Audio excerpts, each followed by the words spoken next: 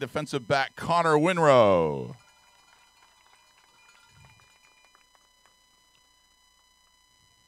In his fourth season with the team from St. Thomas out of St. Joe's, number 18, defensive back William Maboko. In his first season with the London Beefeaters out of Guelph, team captain number 22, linebacker Powell Samansky. In his first season with the London Beefeaters, number 87 receiver Brandon Byers. In his second season with the team, 2021 OFC champion, leads the OFC with four interceptions. Number 22, defensive back Jordan Wright. From Montreal, Quebec, in his second season with the Beefeaters, number 2021 OFC champion, team captain, number 92, defensive end Mathieu Labelle.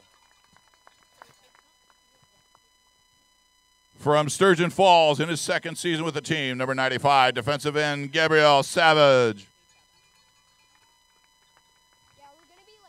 From Brampton in his second season with the team, 2021 OFC champion, defensive tackle number 95, Karn Sidhu.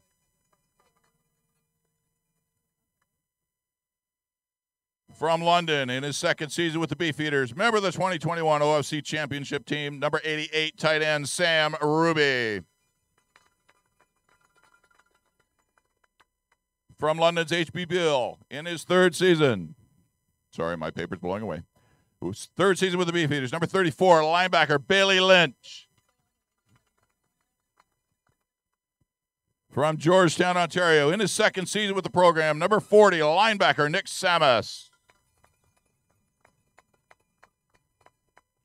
From South Collegiate, 2021 OFC All Star linebacker, team captain, number 11, Tyler Thompson. From London, in his second season with the team, receiver number 81, Doot Durder. In his second season with the program, from Tillsonburg, Glendale High School, linebacker number 10, Wolf Sim. From Belleville, three time OFC Defensive Player of the Week, number 51, defensive end, Dylan Clark. From Elmira, Ontario, scored the winning point in the 2021 OFC Championship, kicker number 82, Leo Centeno.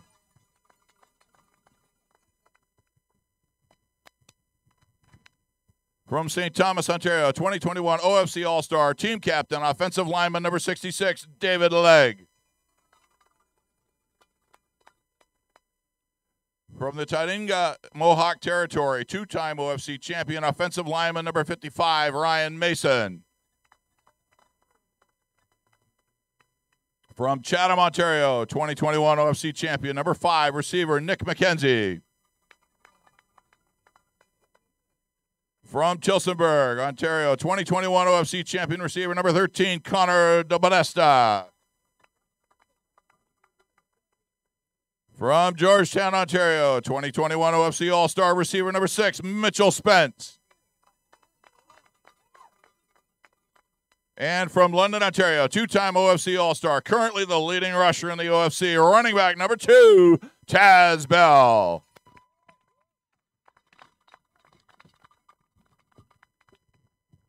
Ladies and gentlemen, your graduating player from the London Beefeaters 2022.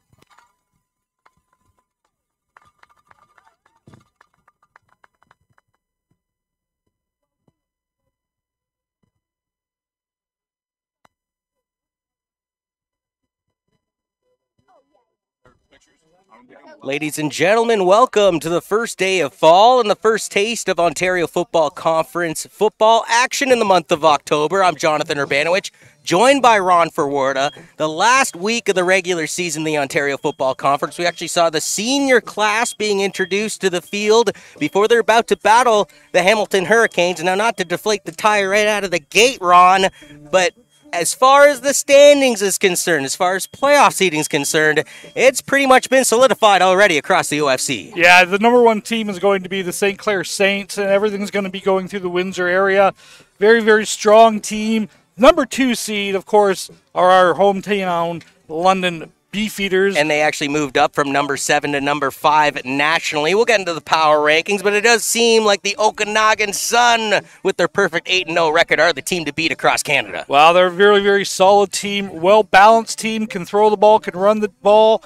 And I'll tell you, that team plays some defense as well. Last time these two teams hooked it up was Sunday, September 16th. That took place in Tim Hortons Field in the Hammer. And man, it was a doozy. 15 all. It was tied with four seconds left. A.J. Williamson went out to attempt a 39 yard field goal. It would miss, Ron, but it would go out to the back of the end zone. In Canada, that's a rouge. One point went on the board, and the Beefeaters stormed off the field with a 16 15 victory. Really, really tight game. That was kind of the defining moment in this season for the Beefeaters as well. That kind of solidified everything for them with the win last week against Ottawa. The Beefeaters are number two in Ontario. Now, each team in that game scored a touchdown on the ground, but the Beefeaters chewed up 357 ground attack yards. Ethan Chambers, their quarterback, had 137 of those rushing yards and a touchdown on the day. Well, Tasvang Bell garnished 132 yards on just nine carries. Yeah, Tassie's got a really, he's got a different gear. Uh, the graduating beefeater, that's going to be a huge hole to fill next year for Coach Snyder. Who we did not see play at all, despite he No. looked ready and ripe on the bench. Yeah, we didn't see him at all last week, so it'll be interesting to see how many reps they have. Again, everything's kind of been set. This is going to be, you know, Hamilton's going to be your four seed. Ottawa's going to be your three seed. We're going to see Ottawa here in two weeks for a rematch of last week's game, John. So this is the last chance for Hamilton to really sharpen the knife, so to speak, when they'll have to go down to Windsor to take on the number one St. Clair Saints, a team that they lost to, well, twice in the regular season. Hamilton lost to them at home 28-21 in thrilling fashion back on August 27th, and more recently on September 24th, 23 to 13. But both those games, one or two possessions, it could be going into the Hamilton's favor. Well, and exactly. And again, it's going to come down to the turnover battle, not only in this game, but games going forward. You're going to see the play calling really starting to tighten up.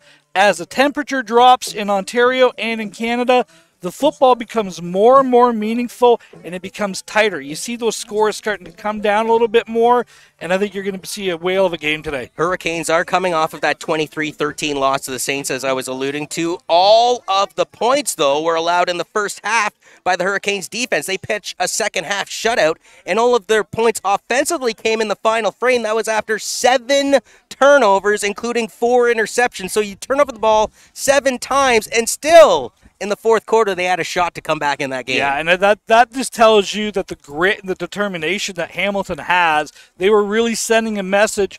They did not want to make that drive down in two weeks, but they're going to be making that drive down in two weeks as we see the officials coming on the field for the call of the captains very soon as well, John. Last time these two teams hooked it up again, 16-15 thriller, but on the Hurricane side of the ball, they were led defensively by Isaiah Joseph, who had 12 solo tackles and 3 assists. Terrell Thiberger and Seb Gustafson each had a sack as far as the defensive side of the attack, and then offensively speaking, a rushing touchdown chipped in by Caden Williams, and their quarterback Kieran Dage would hit Quinn Robertson, who I think is the player to watch, in my opinion, on the Hamilton side of the ball. 360 yards caught on 28 occasions, 51 yards per game from that gentleman. Yeah, really balance the guy. That's a guy that they want to get the ball to in a little bit of space, get moving around a little bit, try to get that matchup on that linebacker coming out. Look for him to coming out of the Y slot a little bit more than maybe anticipated today, John. The lone OFC game taking place on the 1st of October. Tomorrow, the Sooners will be at the Skyhawks and the Grizzlies will be at the Saints.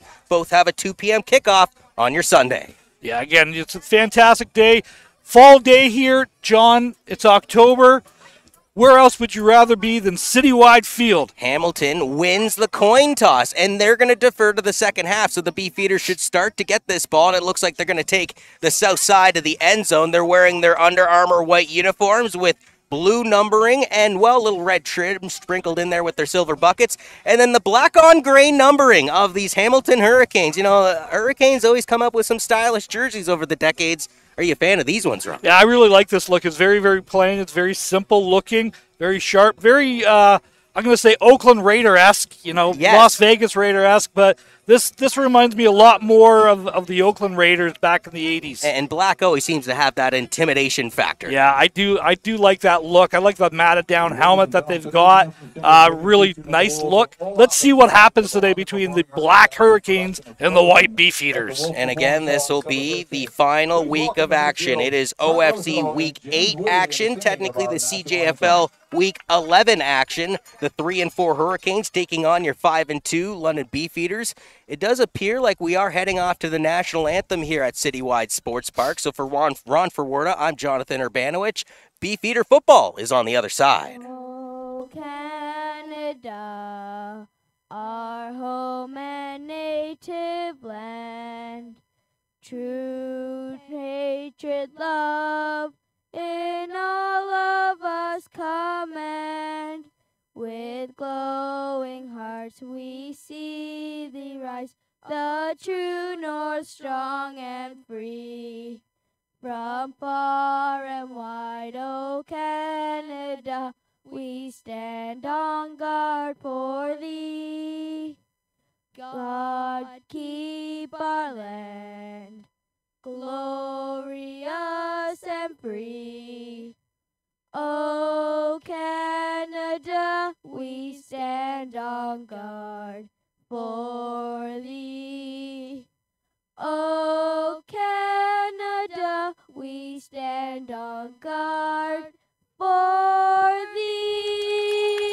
A tremendous duo taking us through the Canadian national anthem. Jen Annan has some competition, we'll say, come playoffs. Great job there by those young lads. A couple London Minor players on London Minor Day here at Citywide, John. Yeah, so again, if you are watching this broadcast within the London area, mind you, and you are part of the LMFA Familia or alumni, you can still get on down to Citywide, wear your uniform, and admission is free. Absolutely. And again, great to see a lot of different representations here. A couple couple of former players I saw earlier today. Uh, a lot of different colored jerseys in here. Great to see. John, the wind is coming out of the north. It's going to cool down a little bit. It's 18 degrees at kickoff here for 5 p.m. They are expecting it to cool down as low as 13 before 8 o'clock, which is roughly when these games usually wrap up. That's if we don't get any overtime here. Yeah, today. again, yeah, that's the last thing I think either of these two teams want is overtime. But again, Well, they were they were four seconds away Yes. from it in their last game if it wasn't for the Rouge from AJ Williamson, uh, which concluded a 16-15 final. But here you go, Ron. Hurricanes versus Beefeaters. Both are going to go into the postseason. Hurricanes are going to walk into the undefeated barn of the Saints. That is, of course, unless the Grizzlies of GTA pull out a miracle tomorrow and hand the Saints their first loss of the regular season. So, here we go. Max Sherwood ready to boot this one away. So far on the season, he's got 51 kickoffs, and here goes number 52. It looks like Keegan Cardona has it go right through the wickets. Going to pick up this one at the 15 yard line, try and make a little something out of nothing as he brings it up to the 26. And that's where Ethan Chambers and the Beefeaters offense is going to start off their day. Yeah, again, this is just unfortunately this goes right through. his- So the sun's kind of setting, John. A little bit different angle. No excuse there. I think the wind just kind of held up the ball a little bit there. We'll give the Hurricanes defensive starting line, starting with the defensive end, Mason Burnett.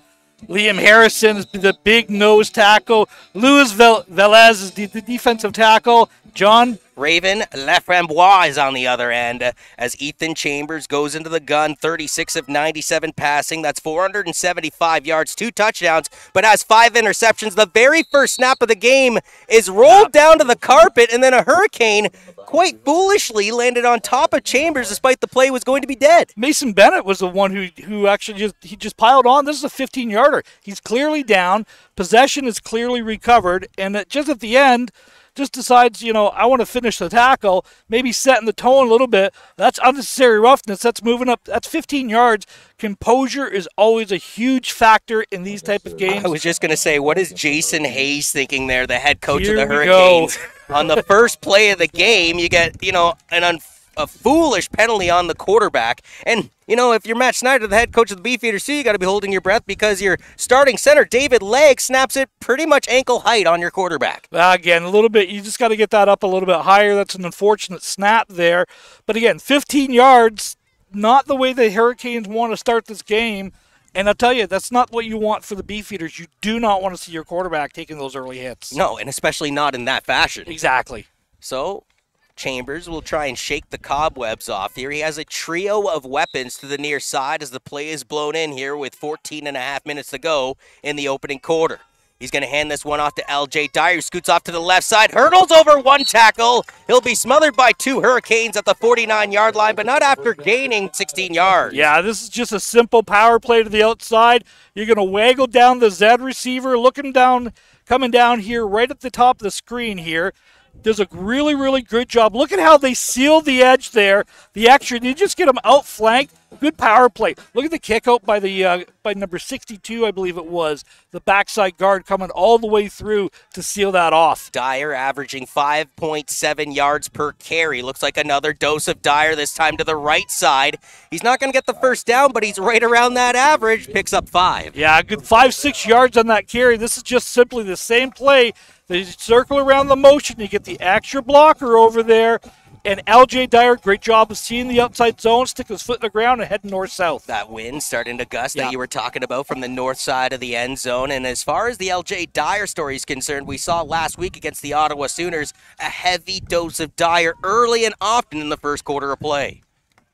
Three swag to the line. Chambers once again hands this one off, but it's not number three, it's number 32, who's actually lucky to hang on to this ball as it looked like it was loose as he was trying to corral it. Cardona still picks up three yards. Yeah, Keegan Cardona was the was the ball carrier on that. We both saw the exact same thing here, John. Now, given this situation, third down and shy, they're at midfield. Are you going for it here? But Well- it looks like the special team unit's coming out. I, you know, to be honest with you, I think I would have been inclined to kind of go for it in this one because you're going right into the teeth of that wind here. This ball's going to hang up a little bit. Now, again, Coach Snyder, knowing him like I do, loves to play field position game. So Williamson is well attempting his 41st punt of the season. He's got 1514 yards under his belt. That's an average of 37.8 yards per kick, but he's had two blocked this season and returned for touchdowns on both of those occasions. Snap is good. The blockers are coming. The dying quails away to the right side and he gets a fortuitous bounce on the carpet. And it looks like the Beefeaters go and hunt down the returner. That was Terrell Thayberger. Hopefully, I'm getting that name right. It's not the burger, it's the burger. And uh, essentially, the Hurricanes will get their offense onto the field for the first time here today. Yeah, great coverage downfield by the Beefeaters. This is what I was talking about, about that win. That ball was really, it was a great kick, but it just kind of died flat and came straight down. Positive bounce, rolled up another 15 yards though, and we see the uh, first down here for the Hurricanes. Kieran Dage is your starting quarterback for the Hamilton Hurricanes. He's completed 51.3% of his passes, 58 of 113 to be exact, for 900 yards. He's got nine touchdowns, but very similar to Ethan Chambers, he's got six interceptions so far in the regular season. In the shotgun, he'll take the first offensive snap of the game and fire this one over to the left side. Incomplete pass, I believe, trying to target Lord on the play. Yeah, this is just that simple. We talked about this route at nauseum last week. This is the speed out. So you've got, almost got like a double out concept here. You get to see the sit down on the top of the screen, and it's just all you're trying to do is sit down, get that 10 or 15 yards, get the early completion. Ball kind of sailed on a little bit, and we see the incomplete. He's going to pass the ball a second time already in this game. He's going to go deep to a favorite target. He reels this one in. What a catch around the 55 yard line. And that's number 87, Anthony Grigg, with his 32nd catch of the season, coming into this game already with 551 receiving yards. Big mismatch in the height on that. We saw him. This ball was a really nice ball.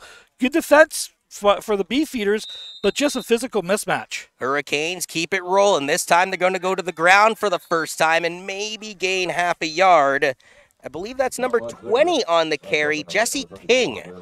And that's interesting storyline because it looks like both Isaac McLennan, who came in with one rushing touchdown, is unavailable today, as well as a receiver, Isaiah Parkinson, who's got two touchdowns. So multiple weapons missing from the Hurricanes offense. Dage goes back to work. Another beautifully thrown ball. This one's completed just shy of the first down. This time it's number 89 reeling it in, oh, Luca Jones. Yeah, Jones with the reception. But here's something that we're going to see here a lot of for Hamilton.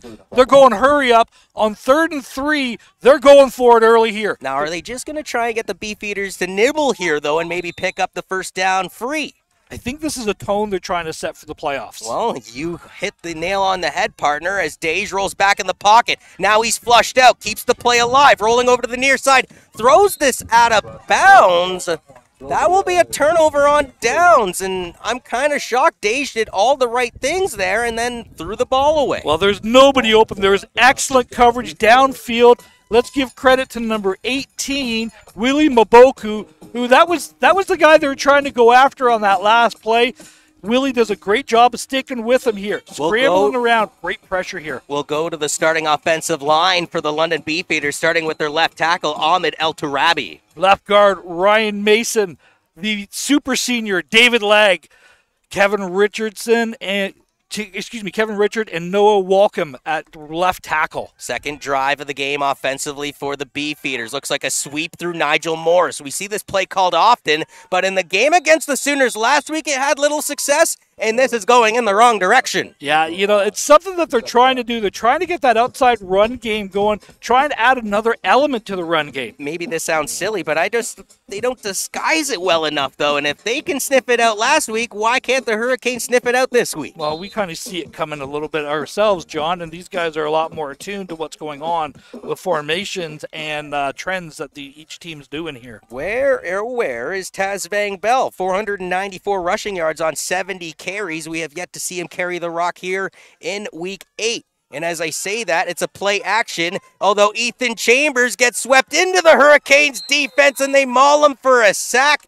First Hurricane to get at him was Jake Lawrence. Yeah, this is just really good coverage downfield, nowhere to go. They're trying to play action. Nobody bites in, and then the linebackers start scraping up. Nowhere for Ethan Chambers to go there. Good decision to hold on to it, not forcing the ball. And you got to watch out for number 91, Raven Laframbois. Four and a half sacks coming into this game. He's eager to get to Ethan Chambers. He's got 16 total tackles over the first seven weeks of OFC action. So another third down brings up A.J. Williamson again for his second punt of the game. Bit of a high snap, settled down by the punter, and the wind sort of cooled down. But this is an over the top punt, and it actually goes off the Hurricane. That's a live ball. Who's got it? Like the, everyone's kind of indicating the Beefeaters have it. Hurricanes ball, according to the recover it. officials. I thought it was no yards, to be honest with you, John, as we're kind of seeing here. Good No, job of Jake Attard, though, to hang on to the pigskin. Especially, I, I thought that punt was beautifully done because instead of it wobbling left or right, it was going nose Yeah. over nose, which makes it incredibly hard to catch. Yeah, and it, it's always going to give you the good roll on this. So look at this. Again, just bounces, jumps right into him. He's trying to attack it. That's that wind holding the ball up a little bit there, John. We're starting to see that. The wind's going to be a factor in today's game. And to a you. point you were making there, Ron, if he catches that ball cleanly, I think there's a beefeater Yeah. within five yards. really close. It was like I thought it was no yards as it was, but didn't get the call. Second drive of the game for Kieran Dej and the Hamilton Hurricanes. He looks over to that left side, completes this pass, and it'll be caught by Keyshawn Jordan. Jordan gets close to the first down marker in front of the Beefeaters bench. Yeah, good coverage downfield. This is just a simple step off route. So all they're trying to do, as we're seeing, the Hurricanes are calling the signals from the sidelines on the on the super signs. So there's like a choice of of a couple different things that they're going on. I haven't seen that since like Friday Night Lights football, the super signs. yeah, the super signs is something that we see in U.S. college football quite a bit, and it was enough for a first down, John. Three weapons to the right side, but Dage fires it over to the left and just getting a bear paw on it was Jordan Wright. Now, the Beefeaters defense coming into this game, Ron, already had nine interceptions. Four have come from the gentleman that just touched the ball in white. Yeah, you know, Jordan Wright's had himself a great season. And does a good job of understanding the route concept and coming down and breaking up that pass. So it looks like on second and 10, we're going to get the Hurricanes going for it here on the run play, but breaking right through the line of scrimmage like a missile, Ron Ferwerda was Connor. You call him the Crusher Crozier. Yeah, Connor Crozier, the product out of Medway, just a simple Mike linebacker blitz. Look at him, recognize it right away, shoots a gap, does a great job wrapping the ball, wrapping the ball carrier up in the backfield. Great job by Connor Crozier. Max Sherwood will go out there to punt the ball away for the 43rd time this season. He already came into this game with 1,480 yards via the punt. That's an average of 36.1 per kick. And back to go get it for the Beefeaters is Cardona to the far side, and I believe that's actually Nick McKenzie to our near side. So they're targeting Cardona. Remember, he kind of fumbled the opening kickoff. Instead, he catches this one cleanly. Gonna try and use some blocks to get to the edge on the near side, but great job by the cover team. Yeah. Hamilton hunts him down and gobbles him up. That's Carter Misconi in on it. Yeah, this is really, really great coverage across the board. I thought he should have took it up earlier. We almost had a punt block there right off to the right edge. Keegan Cardona does a good job. Now, this is where I think your lane is. But then instead he tries to bounce it, and I know they try to always teach that in, in, in football, trying to get outflank them. I'm a, sorry, John, I'm old school. I want to take it north south and get it upfield. With this being the third drive for the Beefeaters, do we see Chambers start to go to the aerial assault, or do we stick to the bread and butter with Dyer in the backfield? I think we're going to see a bread and butter. So they do Handed off to Dyer. Dyer's going to be tripped up at the 30 yard line.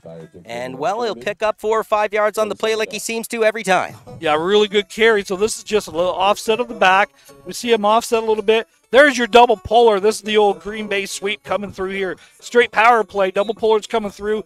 Back gets small in the hole. Good gain of about five on that. And it Coach Snyder's Seb- going to take that all day. Seb Gottsfritzen in on the tackle. He had a sack on Chambers the last time these two teams played each other in the hammer.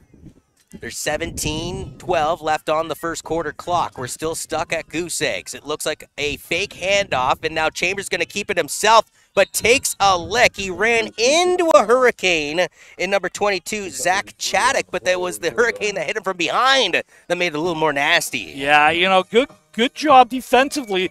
They're trying to get a read on it. See how the end plays the slow play on that? That's a really good job by number 91. We've mentioned his name a couple times for the Hurricanes. Raven Laframbois. Yeah, he does a really great job of playing that read on that. So they're trying to get him to overcommit to the down to the downward motion of the run. And you got to pick your poison between Laframbois and Chaddock. Chaddock's got 43 total tackles coming into this game, and a sack, and an interception. He's a magnet for the opposition. So, AJ Williamson, it looks like this is a punter's game here in the first quarter, and the battle of field positioning is slowly being won by the Hurricanes. And as I say that, this punt splits the seams. Terrell Thiberger has to go back to get it. And, well, uh, they still get their offense back onto the field, albeit back at the 35. If you catch this ball in the air, this is going to be a plus 15 yards for you.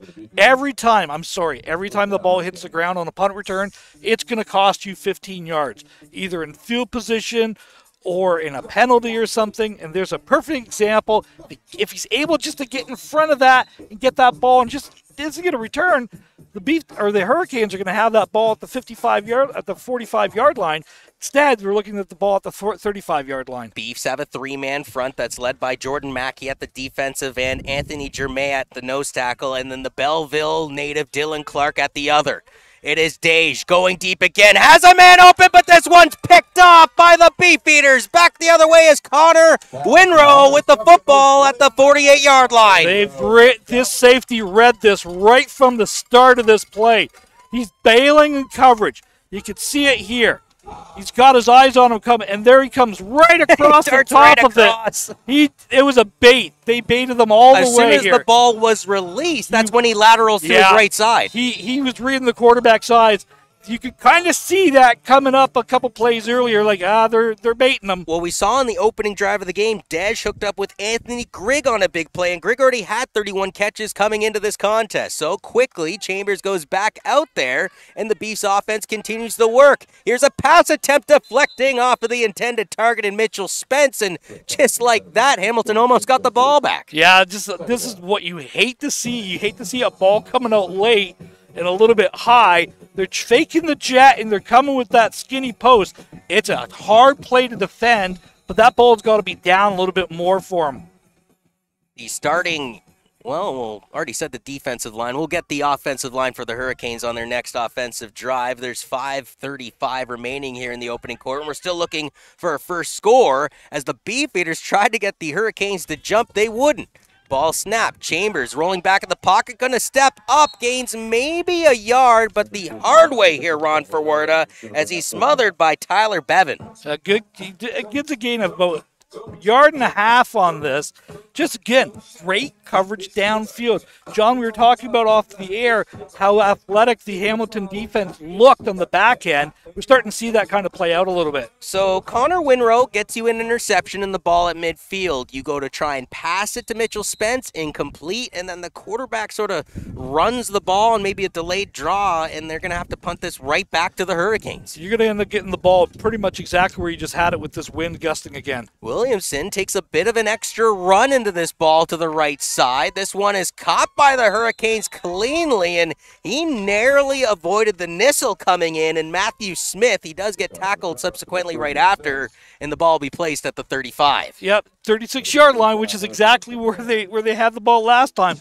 That wind is really gusting at times, John. That is really holding that punt up. We've seen this punter absolutely launch kicks this year. And this time, you know, you got to keep it down a little. Bit. It's a different type of kick into this win. Let's see if Hamilton can take advantage of it with 4:55 left to go in the first quarter. Christian Castenga on left ta- tackle, Gustavo at left guard. It is Taylor Hoffner at center, Ryan Gatchell at right guard, and Kent Shepard at right tackle as Dej goes to the air again, this time trying to get it to Keyshawn Jordan. Overshot the target to bring up second and 10. Good coverage, and again, we're just trying to get that. They're going empty, so the back is picking up the extra extra guy. They're trying to get that sideline route. They're trying to pick on that same zone there. There you see the, the top of the route, the speed out coming, but it's just not there. Great coverage for the Beefs. Still waiting for them to attack number 88, Quinn Robertson. He's my player to watch. Yes, he's only got the one touchdown, but on 28 catches, he's gathered 360 yards. That's 51 yards per game in a Hurricanes uniform. So four will run to the line this time. Daisy's going to look over to the right side. Has a man open, just overshot the target. And who was he trying to get? Yeah, exactly. Number 88. And we're trying to hit that out pattern again there. So, again, this is what he is. He's more of the possession guy, but he is steady. He's that steady Eddie receiver that you love to have. And again, like I kind of said, John, he's coming out of that Y position. So he's the third receiver on that side. He's running that long out. So hard for a linebacker to track on that. These two teams combined for 31 points the last time they played each other on September 18th. Is it shocking to you? We're still at goose eggs here with four minutes left in the first. Not with how the first game was played, not with the wind conditions being what they are here today. So Max Sherwood gets a moonshot away here at Citywide, and Keegan Cardona, well, could have had a cup of coffee before that came down. Now Cardona, well, is going to sprint up the field through to the 52-yard line, make it the 53 officially. See the difference when he gets it straight up field for me, John? This is a great, this is, first of all, this is a monster punt. This is going about 40 yards in the air. Loses it on the screen. Gets that at the 28 yard line, retreats back to the 25, and now, now you're north south. You've hit your lane early. You're, you're bringing it all the way out to the 53 yard line. Best field position for the Beefeaters today. And that's all due to the return because, like you said, the punt from Max Sherwood was a thing of beauty. Back into the gun goes Ethan Chambers. Two swag to the line. He looks over to the left side. He's going to complete this pass to Spence. Spence trying to, well, shake and bake his way up the field. And what do you know? I thought he was only going to get a yard or two. He picks up 11 and moves the chain. Yeah, you had your lineman pulling out in front of this as well. Look at one yard. This is still a wide receiver step off. Get your lineman out front. Spence knows he's got the first down, avoids the hit, gets out of bounds after a 12 yard gain. Big play. Now we're starting to see the ball get to the edges a little bit more. That's going to open up the inside running. Beefeaters, the deepest they've gone so far here today, as it will be Chambers handing this one off to LJ Dyer. But, well, the Hurricanes smother him up right away. It's Hunter Gregg leading the charge, the six foot defensive lineman. Yeah, so they're bringing that jet motion across on that again. They're trying to get someone to occupy. No one's buying that jet, John. Everyone stays home and just nowhere to go for. Is this uh, something you would be worried about come playoff time that I've mentioned a few broadcasts ago that maybe the Beefeaters are a little too one dimensional? Remember, 2,277 total yards, 1,699 though have come on the run. Flag on this play. It's a, well, halfback screen to Dyer. Dyer catches it. He's got the first down and more, but we'll see what the flag says at the beginning of this play. I think we're going to have an offside against the Hurricanes here. I think that they lined up offside as where the flag was being thrown. I figured it had to be against the Hurricanes because if it was against London, you'd it think is they would against London. you'd think they would have just blown the play dead then. Yeah. Um, okay, so it's against London. I want to hear if it was no end or what the what the call was here. It's offside against the Beefeaters. So again, if the offense was offside, I just don't see for safety wise more than anything else why don't you just blow the play down. Regardless, London loses the five yards, brings up a second and long here with about two and a half left here in the opening quarter. But you're starting to see the game plan into this wind here, that short passing game, trying to get the ball to the edges for the Beefeaters. Chambers protected in the pocket, has a chance to go deep to Nigel Morris. His pass is complete. Morris down around the 15 yard line. That's a 40 yard pickup for the Beefeaters. That's a huge play, and that's one of the first times that we've seen him connect on that. This is just a late drag coming across. Clean pocket. Ethan Chambers How often we said that this this year? A clean pocket hasn't happened very often. Steps into that throw and delivers a strike. 10th catch of the season for Nigel Morris, who came into this game with one receiving touchdown, 113 yards, averaging 12.6 yards per catch. Well, that one was awfully close to 40. As it is, Chambers with Dyer beside him. Fakes it to Dyer, gave it to Morris. It deflected off of his hands, and for a second there, I thought Adrian Allen, the safety for the Hurricanes, if that ball got deflected any more closer to number seven, was going to turn the ball the other way. Yeah, and again, it's just that it's that read route that we are just talking about. So we're faking the read. We're trying to get them. You're trying to hit that space in between the safety and the linebacker. If you do have to lay criticism down, though, is it on Chambers or Morris there? Uh, that's on the receiver. You got to catch that ball. It, that's well within the uh, Chambers radius. rolls out to the right side, trying to find Morris to make up the play. Incomplete. So this will bring up third down, and do you send AJ Williamson to get the first points of the game? Yeah, you absolutely do. You know, like you- you're trying to set the tone here. Point early into the wind here, John. As we have 130 left. I like if this hey, this kid was going to hit from 55 yards out three different times last week. Well, yeah, last week he hit a 49 yarder, a 39 yarder, and a 23 yarder, all on this side of the field. But if you recall, missed one to the southern district of Citywide. Yeah, again, but just the wind was blowing in a different direction last week. I think this is well within his well within his range here. So this looks like a 24 yarder. Make that a 23 yard attempt. The kick is up and it is good. The Hurricanes got in there in a hurry and narrowly blocked it, but AJ Williamson was able to get it away cleanly. Well, and the other thing I'm going to say, John, going into this, going to the win last week, we saw that it was easily good from 55 yards away. That ball really hung up there. I'm going to say you're going to take about 15 yards off that going forward. So that's a 40 yard field goal that you have to keep in mind is into the wind. That's all you've got. That's a 15 yard difference for your scoring zone here as we see the Hurricanes decide to take the ball on the 35 yard line rather than taking the kick. And considering he would have had to boot that into the wind, you think you would want to take AJ Williamson because you never know. I'm not saying AJ Williamson's one of the, uh, let's say, Mercedes Benz of kickers in this league, but you never know when he could blow a tire. Well, I, I, in that particular case, I, going into the wind, I think I would have rather had him kick it too, but Blitz with coming. Fletcher coming. Now he completes the pass. Paul Samansky absolutely clobbered Dage. And at least some sportsmanship showed at the end of that play, but I believe the officials are going to get Samansky here. Yeah, they're gonna get him for a late hit on this. He's he's clean right away. Drops it off, but it's the blow to the head. It's the arm coming up over the top. I think it made contact with the head and neck area. That's what they're gonna call. I believe that's, you know, right as rain there, Ron, because, you know, the actual inkling of the tackle being made by Samansky happened simultaneously as Dage is going to throw it. But you're right, he kind of clobbers him over the top of the helmet on the follow through. Yeah, and actually they, that's what they just indicated. They said it was a blow to the head there. That's the 15 yard penalty, yeah, correct? Yeah, exactly. So it's it's not only that; it's from from spot of the foul after the play. So, So- you get the yards gain and the 15 We yards. saw in the very first play of the game a foolish penalty taken against Ethan Chambers, and well, the Beefeaters technically give those 15 yards right back there.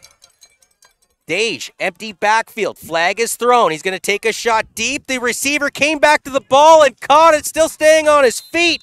In fact, Marcelo da Silva had to maul the Hurricane down as he was, well, continuing to fight his way up the field. Reeling it in that time was number 87, Anthony Grigg. We've already seen two big catches from Grigg in this game. It's all for naught, though. It's offside against the Hurricanes. This is coming back. Again, I don't know if they had the end lined up properly, if he was completely on the line or if somebody left. Uh, I kind of I kind of miss what the call was, but it is coming back five yards. So again, if I'm an offense and I've committed an offside, how can I compound? I guess I could throw an interception or fumble the ball away Yeah. because you would think you would just blow the play down and and they'd put him back the five yards. Yes, well, that's exactly. So you know, I, I don't understand it myself either. I've always always been told uh, by the officials that Offensive penalty, we're going to blow it dead. Defensive penalty, you know, offense has a choice of the penalty or the or the or the play. First and 15. Dej fires a rocket over to the left side. Reeled in by Marcus Jones. Jones slicing and dicing up to the 50 yard line. He'll be two yards shy of the first down. Okay, this is a really good play design. You had everyone running off, and then the Beefeaters were bringing an extra little bit of pressure there. And look at nobody's at that second level there for the Beefeaters defense. Secondary comes up, makes the stop on the 50 yard line, as this would be the last play of a very quick moving first quarter of football, John. Yes, a very quick moving. In fact, you know, you have 15 minutes of game time has gone by within half an hour of real time, which I hate to say this because it's always a lot of fun doing the games with you, Ron, but that usually doesn't happen here in the OFC. No, absolutely not. This is actually, I'm. You know what? I was gonna say something. I'll say it at yeah, the you don't end. don't jinx it Yeah, now, Ron. you know. it- You know. it is, Dej faking the handoff. Gonna go to the air one more time. This isn't double coverage. He overthrew the intended target at Anthony Grigg, but you know, right person to target. He's already had two big plays in this opening quarter that is concluded after that play. So we're going to see the flip of the field here, but that is a call that they're making, knowing full well we're not punting the ball here. We're taking a shot. If we get the completion, great. If we don't, we know what we're doing, and we're going for it here on third down, which is exactly what I think we're going to see. So that does conclude the first quarter of play. We'll go to the Nicholas Group Mortgage Broker box score, as it is just one score to talk about, Ron. With 112 remaining in the opening quarter, AJ Williamson hit a 23-yard field goal to put us at the 3-0 scoreboard we have here at Citywide.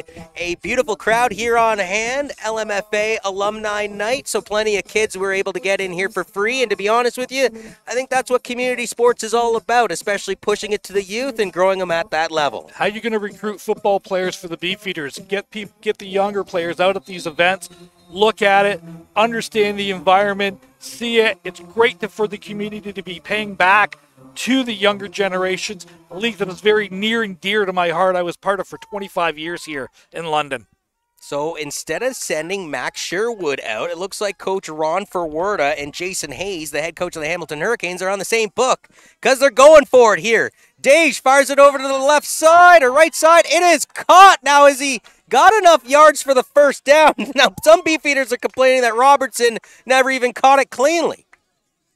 I'm waiting for them to call. It's going to be an incomplete pass. He would have had enough.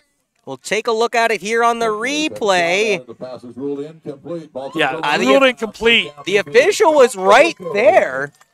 Well, Boy, oh no, oh boy. no, no, no. They're saying it was complete, but shy of the first down. No. Well, no, because look No at where way. the ball's been moved. The ball's been moved to the 50 where it was caught. Adam, can we get one more replay on this? Did they, are they calling this an interception? So one more time. That's a pick. But that's still the ball's No, up at the ball- 50 yard no, line, and though. Also, Robertson comes out with the ball. If you watch it a, one last time on that Yeah. replay, he comes out. The offensive player comes out with it. I believe what Taz Van Bell is going to get his first taste and literally crawls his way with.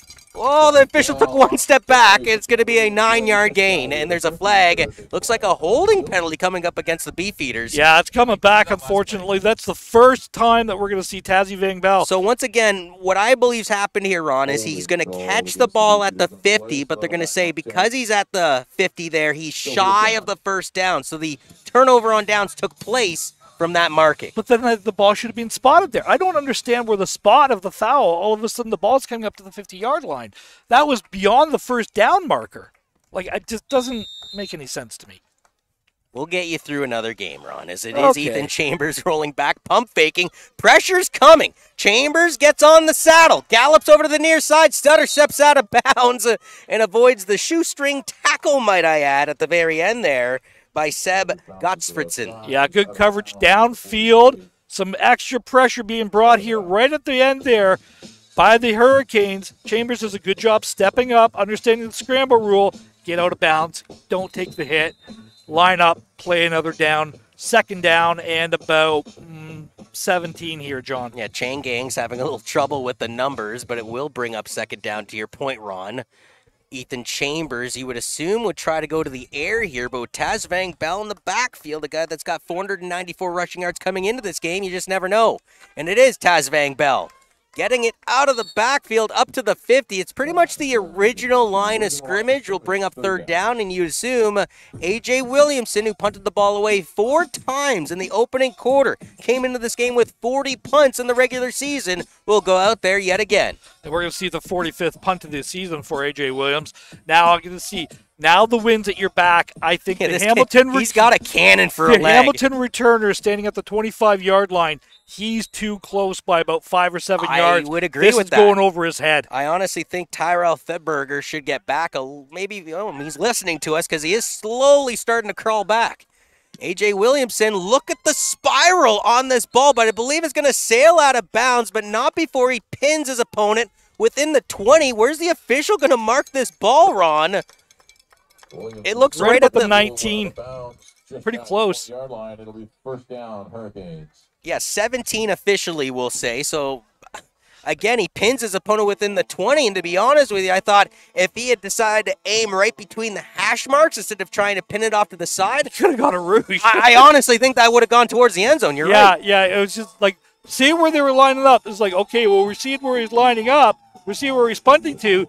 That wind is affecting the kicks by 15 yards.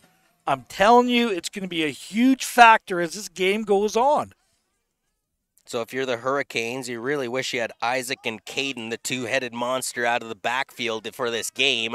They're going to hand this ball off, and sort of a bulldozer approach will pick up three or four yards. Yeah, good straight ahead run here. The now the now the Hurricanes want to try to establish the run a little bit more. We saw really a hurry up style of offense early in this game.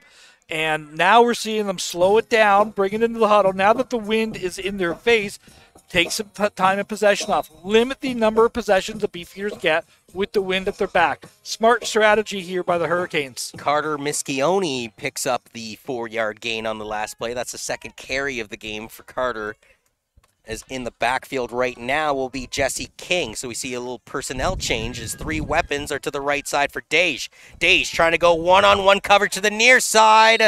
I don't even think the receiver really looked at the ball there, Ron. Keyshawn Jordan was the intended target, and I will say that ball wasn't necessarily thrown directly to the sidelines, which I'm sure the route was suggesting it should be, but still, I thought the receiver should have adjusted to that a little bit. Should have adjusted to that a little bit. Great coverage downfield. You see it, the ball hung up a little bit. You know, I'm telling you, that's what's happening here. Well, and you have Jordan Wright, who's already got four of the nine Beefeater interceptions in the regular season. He's the closest one to the ball as yeah, it lands. yeah, and, and again, great coverage by Jordan Wright. I think the, I think the Beefeaters are going to get this ball inside Hamilton territory.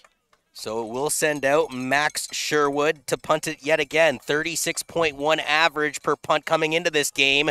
This one Heads goes up. straight up into the air, and this one will ricochet into the crowd. Now, is that a souvenir? Does somebody get to keep that? No, unfortunately, Ah. they're not going to be able to keep that. There's only so many game balls that they have. But this ball, again, I said, you know, precursor, they're going to get the ball in the Hamilton territory. They're going to get it at the 30 yard line. Johnny, the Beefeaters are in field goal range already. So Albert Pujols hit his 700th home run in MLB history. The fan that gave him the ball back tried to get cheeky. They authenticated it and realized that wasn't the ball Albert hit. So somebody went home with the home run ball despite trying to be Johnny Be Good up front with it. At least they didn't do that with uh, Aaron Judge's home run. Well, they couldn't. That's right. The Yeah. guy went off the fingertips. I'd be kicking myself all week long for that one.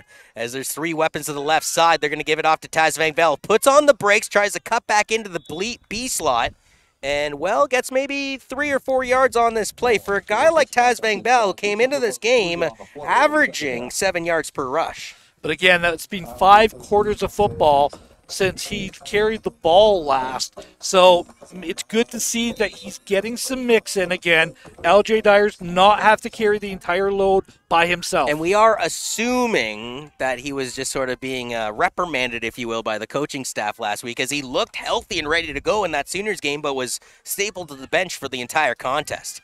Chambers settles down the high snap, fakes the handoff, then tries to find Nick McKenzie.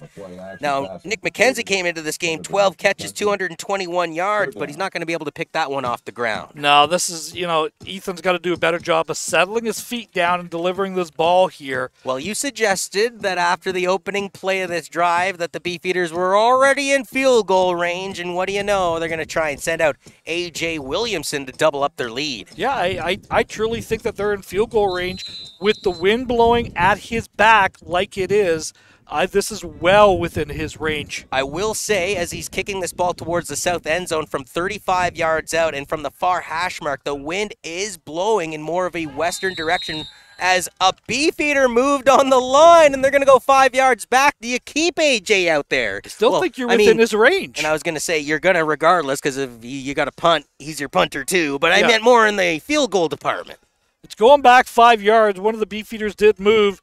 Coach Snyder is, yeah, Coach Snyder's going to leave the field goal unit out there, and that's you know false start here by the beefeaters. Move it back five yards. So now we're going to see a 40-yard field goal attempt. I still think he's got enough leg for this. Sunday, September 16th at Tim Hortons Field. 15 for the Hurricanes, 15 for the Beefeaters. AJ Williamson went to attempt a 39 yard field goal. It missed wide left. It didn't matter. Went out of the back of the end zone. That's a rouge in Canadian football, and they walked away with a 16 15 victory. This is a 40 yard attempt now from the left hash. The snap is good. The hold is down, and AJ Williamson has the boot away. And like you said last week, he could easily hit 55, it looks like, as this one clears the uprights by a handful. Now, you see the difference in the wind direction, which is, I- know I keep harping on that, but it's a 15 yard difference. That kick is good from 55 yard line, from 55 yards out. With the wind at your back, that kick is not good from 35, 40 yards with the wind in your face. So you got to understand it's a 15, 20 yard field goal position difference with the wind. AJ Williamson came into this game partner 14 of 20 in the field goal district. That's 70%. He's been roughly at 70% for the first half of the regular season, but he's starting to fire up these last couple weeks. You recall three straight field goals in that game versus the Sooners, including one from 49 yards last week. And well, he's two for two here today. Looks like Dage hands this one off. Rumble, young man, rumble. It's a first down and more. He pretty much carries Paul Samansky on his back up to the 49 yard line. It's a gain of 15 yards by Jesse King. Yeah, just a straight ahead run play, I formation, fullback in there, and just the offset. All you're trying to do is hit that crease. Great job blocking by the Hurricanes front to open up that hole against the big three man front for the Beefeaters. God save the king. Jesse King picking up the first down. Can you wait for Charles to be on our money? No. Actually, yes, yes, I can. I can absolutely wait. It's a first and 10 play for the Hurricanes. Dage fires a missile to the left side. This one is caught. The ball squirts loose at the end, and the officials say that ball is live. I don't know if I agree with that, but back the other way for the Beefeaters without his team is Connor Winrow. Winrow is denied the touchdown at the very end by Quinn Robertson. But if we see it here on the replay, I think the Hurricane was down by contact on the field before the ball squirts We're going to see Dylan Clark coming right there. There, the ball is out before he's down. He's not down. He's still up in the air spinning, as we do see a flag on the play here as well on the return. I think this. Uh, I think the Beefeaters are going to maintain possession. Hey, great job though by Quinn Robertson, the wide receiver, to get on his high horse and actually save a touchdown there. As you see, he starts off this play from the 50. He's the one that misses him here and continues the pursuit. That's a huge football play. So after the turnover, they're going to get an illegal block. The ball's coming all the way back here for the Beefeaters, but it is going to be the Beefeaters' ball. Adam, if Coach uh, producer Adam can have one more replay on this, He wears so many hats. Okay. Dylan Clark almost tips that pass right on the defensive end, comes down, makes the hit, causes the fumble. Wow, what a play by Dylan Clark. I still might be siding with Hurricane fans on that one, Ron. I, I mean, the ball does come loose, but does an elbow hit first, is my point. Uh, come see, come saw, as it will be Taz Van Bell now getting the carry right up the gut into the eye of the Hurricanes, if you will, as it's Zach Chaddock, who already, well, has an epic season so far here in the OFC. 43 total tackles coming into today's action. Yeah, great job of just staying home for the linebackers. They're trying to get the linebackers to overcommit. You see the extra puller, the fullback coming across as the extra blocker uh, for that power play. Just nowhere for Taz Van Bell to go. Beefeaters as an offensive whole coming into this game with 22 touchdowns, 123 first downs. But like I said, only 578 passing yards of their 2,277 total yards. Sort of a one trick pony as they go back to the ground attack. And it's Taz Van Bell. Van Bell just scoots past the original line of scrimmage in that slice. Just on the sidelines, picks up four yards. But, you know, I do say one trick pony, maybe with a bit of an asterisk, because there's multiple ponies in the backfield. Yeah, there's multiple ponies. They are definitely a run first, pass second type of team. As we see LJ Dyer coming in the game to give Taz a breath on this big, I think they're going to go for it third down. I think they're almost within the range for the field goal with the way the wind's blowing. But you don't want to roll those dice, I guess, at this point in the game. Going off of AJ Williamson's last field goal, though, 40 yards. And I think easily you were right on the money, partner. You could add another 10 15 onto that. And look, oh, look, who's coming onto the field? Yeah, AJ Williamson. I think they're going to punt the ball here. I, I think they're going to play the field position game. They are not going out for the field goal. He doesn't have the puck in his hand. Yeah, and he also doesn't have his holder out onto the field, which is the backup quarterback for Ethan Chambers, Anthony Pinto.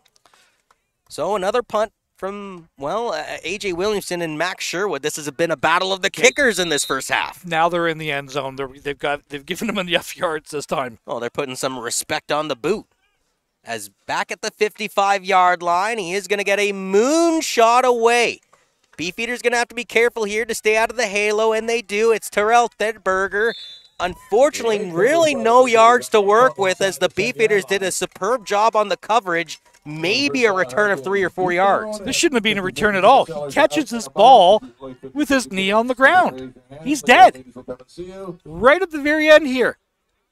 Down. Yeah, He's actually, down. well, okay, well, He's down at the for a four guy yard that line. needed to go back to his car before our broadcast to get his glasses, I was gonna say you got eagle eyes here, Eddie. I can see great at a distance. You put small print in front of me, it's Okay. like, forget it, I'm done.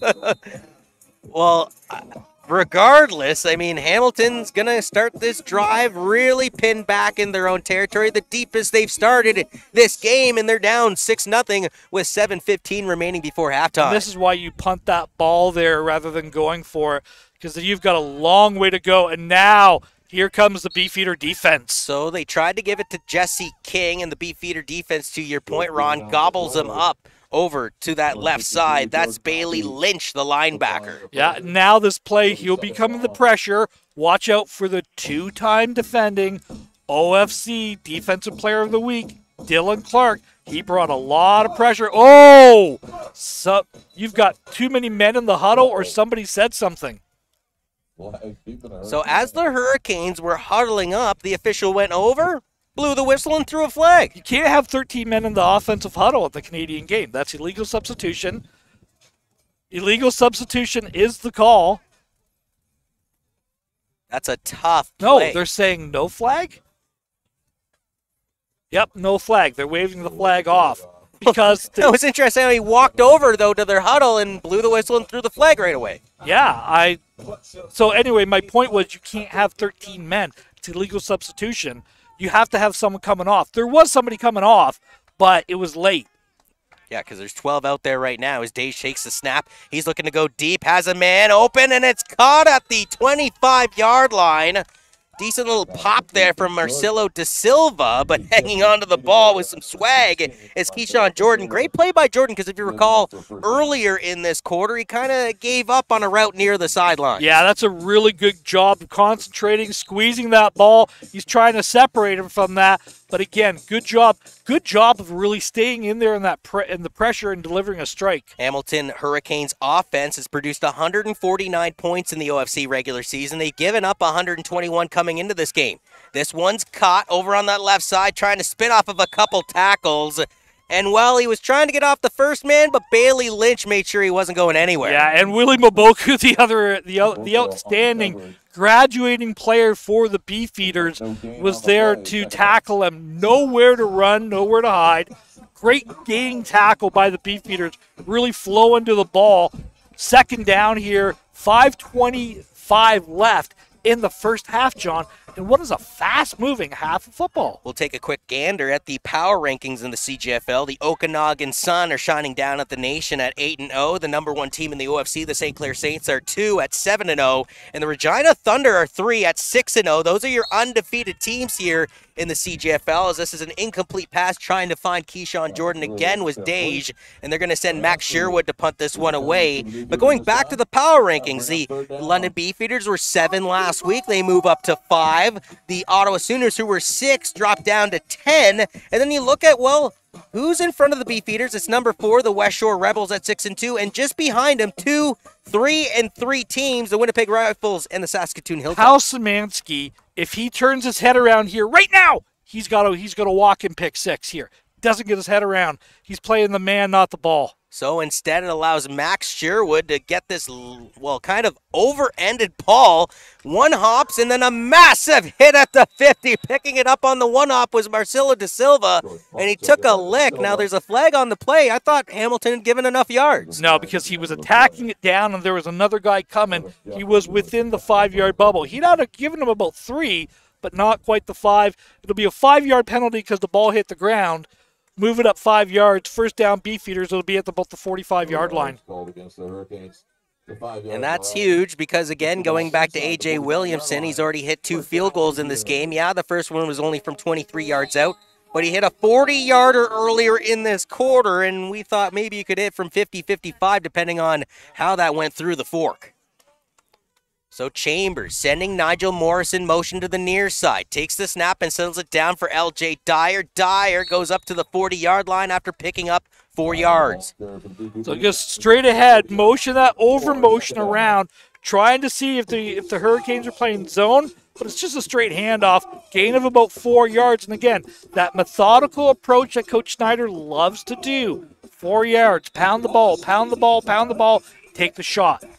So again, going back to the power rankings, Beefeaters at five with their four and two or five and two record. I apologize, but then as we have a timeout here on the field, I think it's an injured player for Hamilton. I'm not sure.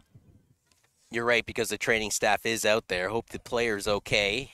Gets up on his own accord, which is a good sign. And number 22, we've already named a handful of times. Zach Shattuck, 43 total tackles coming into this game, has already had a handful in this opening half of football. He'll have to sit out for at least three plays. Going back to the power rankings once again, though, for the Beefeaters, behind them, number six, the Winnipeg Rifles, and number seven, the Saskatoon Hilltops. Both those teams have a three and three record, Ron, and yet they're nibbling at the toes of the five and two Beefs. Yeah, and again, two very, very traditional, strong teams.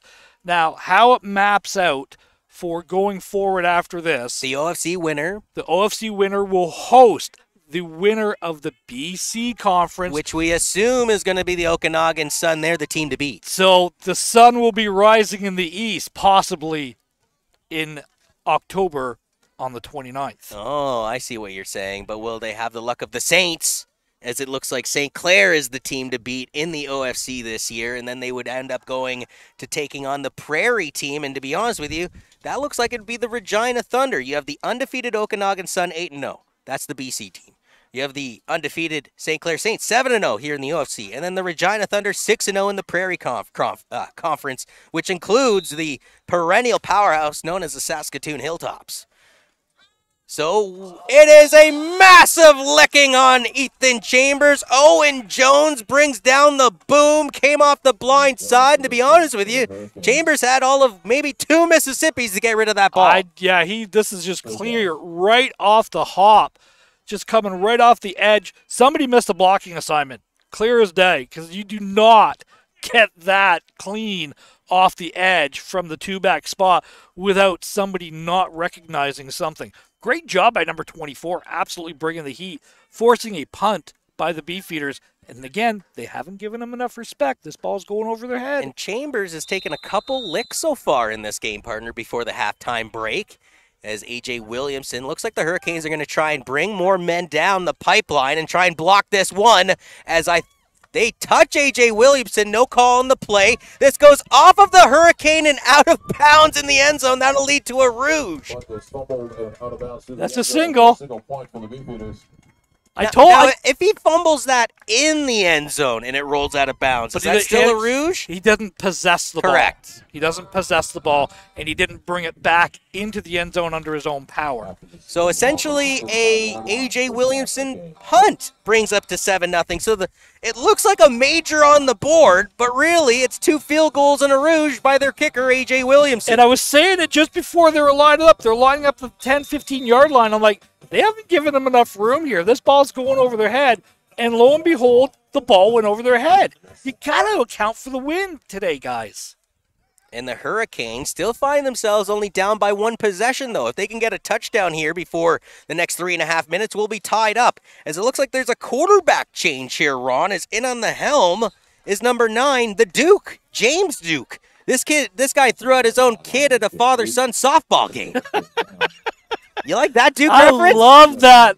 Wow. So Charlie Sheen Major Leagues reference. So Duke comes into this game 42 of 80 passing, slightly better passing percentage than Dage. Dage is 51.3%, Duke is 52.4%. He's got 441 passing yards, three touchdowns, but kind of like Chambers, five INT so Didn't- far this season. the Duke, you know, lead the league in strikeouts and hits batsmen? and hits batsman. That's right. As the Duke completes this pass. Oh! Tiptoeing on the far sidelines to keep the play alive was Marcus Jones. It looks like he's a yard shy, according to the officials, though. Yeah, he's going to be a yard shy, but oh boy, oh boy, he's tight roping down here. Look at he almost got through on that. If he does, he's going for a scamper. So we've seen Ethan Chambers take a couple licks in this game. Probably not seeing Anthony Pinto anytime soon. And yet, James Duke now takes over for Kieran Dage. And Dage had that big hookup earlier in the first quarter between him and his receiver, Anthony Grigg, but hadn't had too much success here in the second quarter. Maybe that's why the head coach and Jason Hayes has made the QB change. Full house. They're going to hand this one off to Jesse King. King is popped. Coming in off the linebacker position there was Willie Maboku. Yeah, Willie Moboku is is bringing the heat there. But again, Hamilton went with a couple uh, big extra extra line defensive linemen there, and Well, they needed a a yard, and they, they, it was Yeah, game plan complete. just a straight rhino formation or heavy, whatever you want to call it. Everyone, everyone's got that extra personnel in there uh, coming in, but that was really, really good job of really owning the line of scrimmage at that particular time and pushing the Beefeaters back. As Ron was alluding to, the OFC playoffs begin with the opening round on October 15th. The fourth seed will be at the first place team, and the third seed will be at the second place team. As climbing the ladder to go up and get this ball, what a catch to reel it in by Anthony Grigg. I just mentioned this guy's name that he had a huge catch from Kieran Dage, and now he catches this ball from James Duke. But there does appear to be a hurricane banged up behind the play. The big man and Jill, uh, Dylan Gilleps, Gillespie. Yeah, you know, unfortunately, that's the left tackle that that they're losing out off there. So that's going to be, uh, excuse me, the right tackle. He pointed right at his shoulder, Yeah, his despite shoulder the fact right that he's away. walking off on his own accord. Yeah, but there he's he's still looking at him. He's still holding that shoulder a little bit low there. Down seven nothing with two minutes left in the half. This is a well second and eight, we'll call it. How big of a play is this for the Hurricanes in this game? Well, it's obviously it's a big play. You want to get some yards here, but you you want to be able to just keep the clock moving with the wind in your face here. It is Duke throwing it down the field. Incomplete. William Oboku got his hand in the cookie jar and disrupted the play as Duke was trying to target Quinn Robertson, who's been my player to watch in somewhat of a library performance. Robertson's been quiet. Yeah, quiet, but again, look at no Hamilton punt team coming. So they're putting they're putting something down on film for teams to worry about. This is definitely what they're thinking about. Well, timeout now Hamilton- yeah. taken. So the, yeah, I you know they're definitely punting is not in the game plan this week for the Hurricanes. We've seen that established, you know, early in this game. The original Hurricanes team was founded in 1963, and they've won eight provincial titles and one Leader-Post Trophy known as the national championship back in the day. That was on November 11th. It's a day to remember for Hurricanes fans. On 1972, the Hurricanes beat the Regina Rams 33 to 8 to win their first championship appearance in franchise history. However, they would quickly become the bridesmaids for the remainder of their franchises so far. In 1975, the Rams would get their revenge over the Hurricanes by winning the championship over Hamilton 38 to 19. In fact, the Hurricanes would lose five straight national championship games in their appearances, including four to the Regina Rams, including the 1980 Classic that took place in Regina, a 26 to 24 final. They would lose their sixth straight national championship appearance and fifth to the Regina Rams in 1993 by a score of 23 to 11. The team would actually fold that season due to financial difficulties, but would return to the OFC in 2008. Hamilton lost their most recent national championship appearance in 2011, 29 to 1 to the Saskatoon Hilltops. As it is James Duke with pressure coming from Willie Moboku takes the pass, deflects off the receiver's fingertips. He was trying to find Carter Moscone. Yeah, and again, just trying to find that sit down route. Even if he catches that, I'm not sure he has enough yards for the first down. Really, really close. Gives the Beefeaters 98 seconds to work with before halftime to try and put more points on the board. Yeah, you got to take a, you got to get some chunks of yards here. You know, maybe run a draw, maybe run a screen. They had that screen that had uh, that they ran early in the first quarter. Went for big yards, but it was called back in a hold. Can you name me another franchise that had this kind of heartbreak, though? The Hurricanes lost five national championship games between 1975 and 1981, including being shut out by the Edmonton Huskies 28 0 in 1977. They lost five, well, technically six straight national championship appearances. Seven if you go back to 2011. You know, pro football oh, wise, you're talking Buffalo Bills, I was Miami, just gonna Minnesota, say that. Minnesota Viking territory. You know, that's that's what you're looking at when you're 0 for multiple years in a row. And especially you think like Hamilton, okay, what's their arch rival? You you think GTA, right? No, Regina Rams are their arch rivals as far as their history is concerned, seeing them six times in the final and having a one in five record in those occasions. So Chambers in the pro set's going to send Nigel Morris over to the left side. Clears the backfield, going to huck this one deep. Has a man down there, and Spence, it is caught. It is just shy of the touchdown. Instead of a well 60 yard TD, we'll call it a 58 yard hookup between Chambers and Spence. Just a fly route, there it is. Okay, Ethan Chambers does a great job of putting air in it. He brought everybody in. They lined up a little bit tighter to give him. Look at he's lining up in between the hash and the numbers.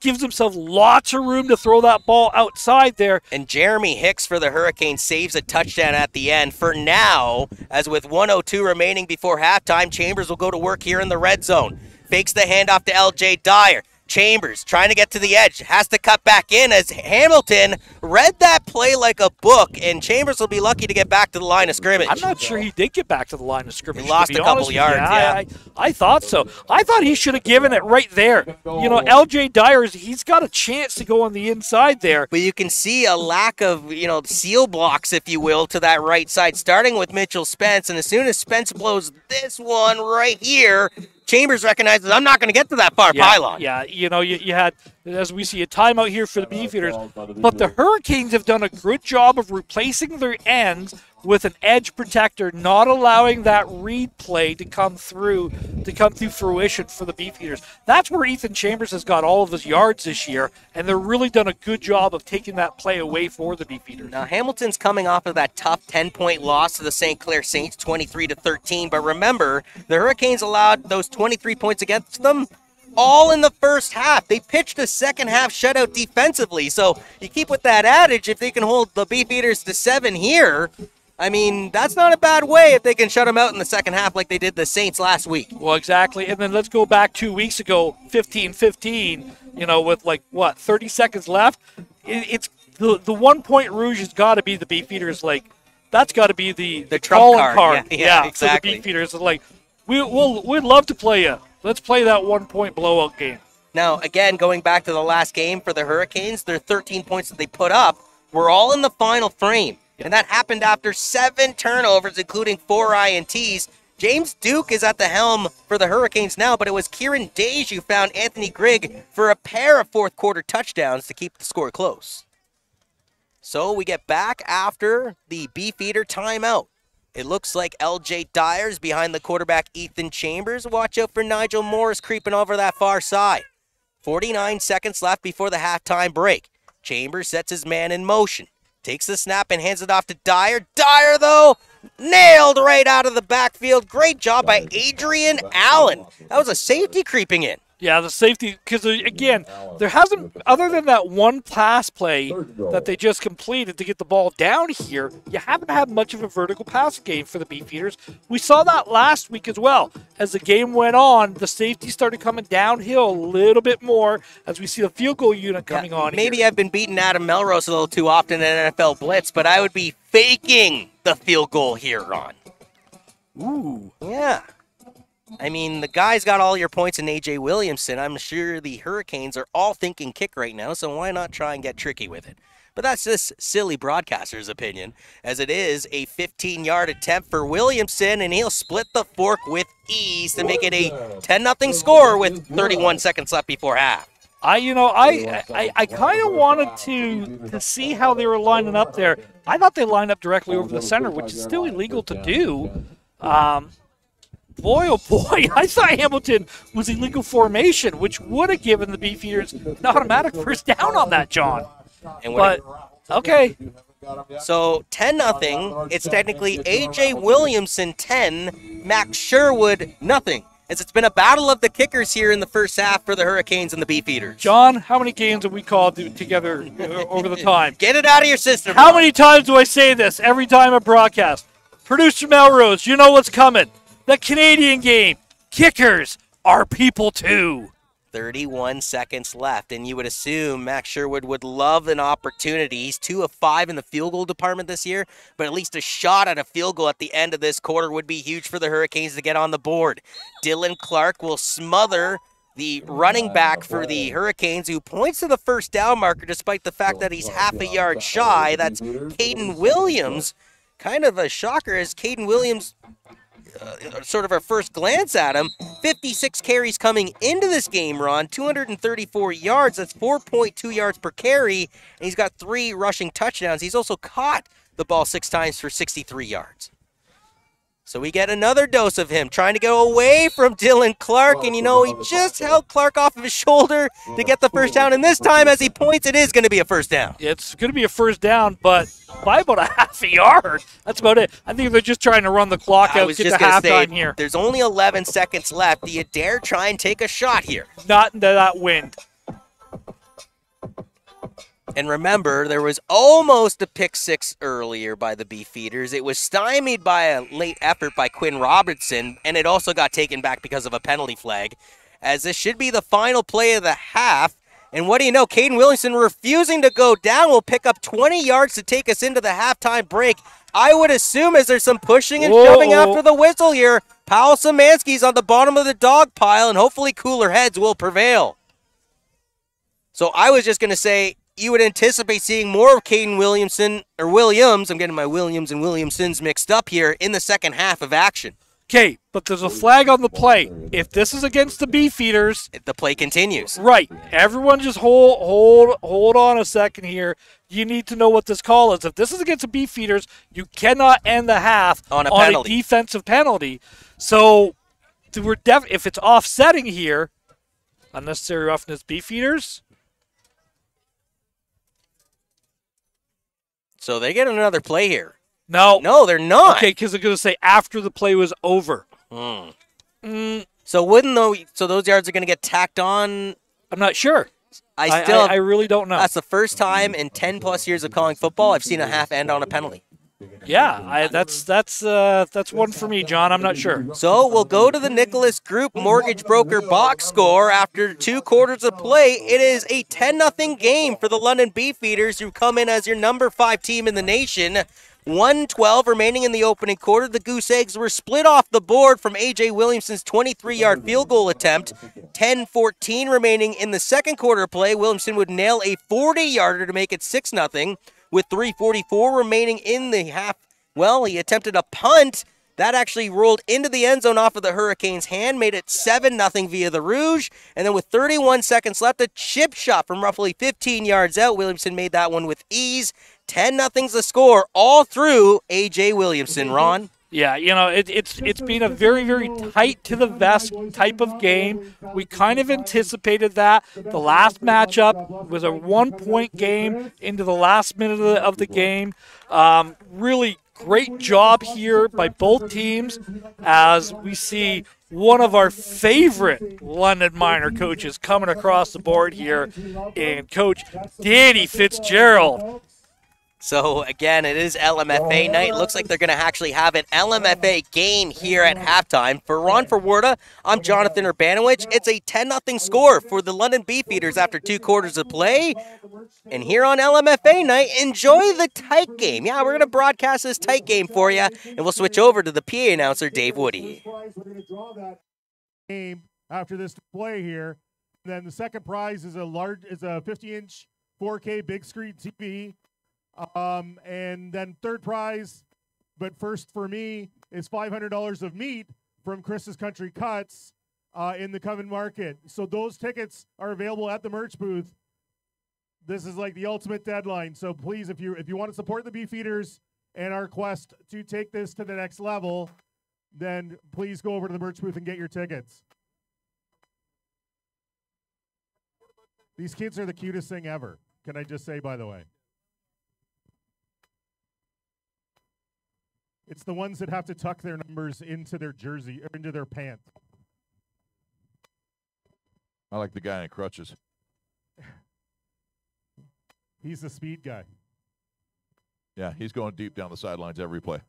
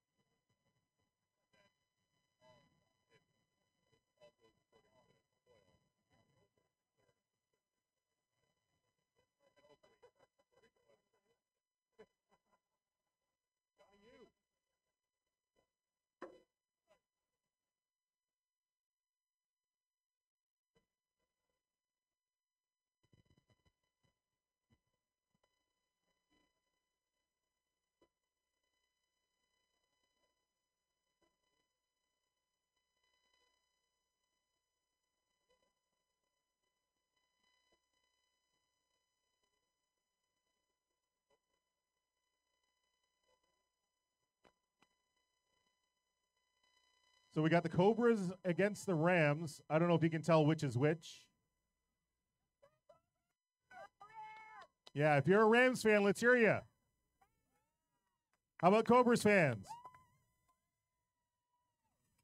Less filling. Tastes great.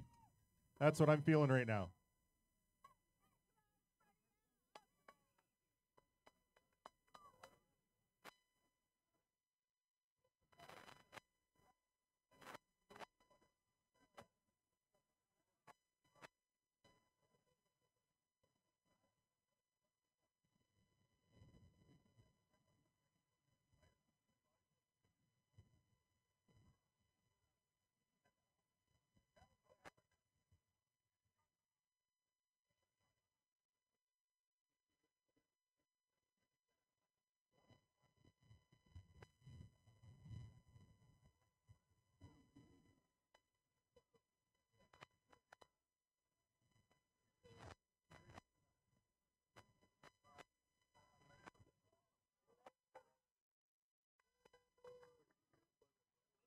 A little nine on nine violence after the completed pass there.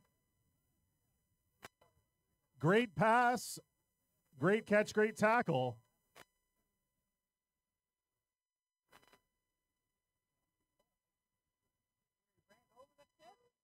This is Tyke football. Not many completions of that length. Let me tell you.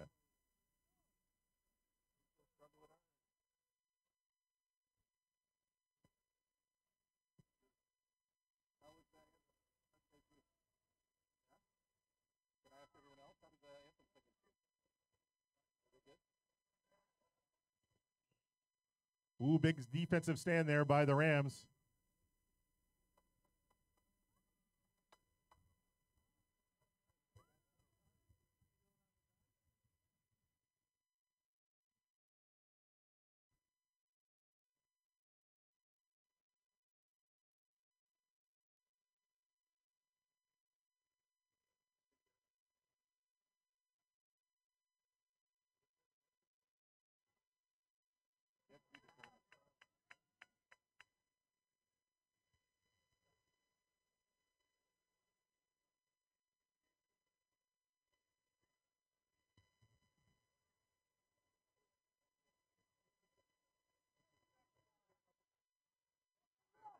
Thirty-three breaks a tackle, takes it to the house.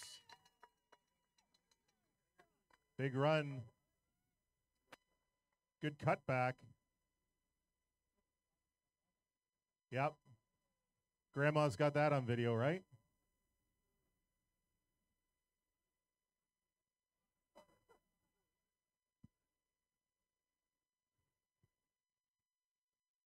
Oh, the colored so the colored beanies on their helmets, those kids are the the official down linemen and only they can rush. So there's no blitzing at this age. That's what that is. They tell me that now after I stopped coaching it. We might have been aggressive on defense, just saying. Don't listen to that child.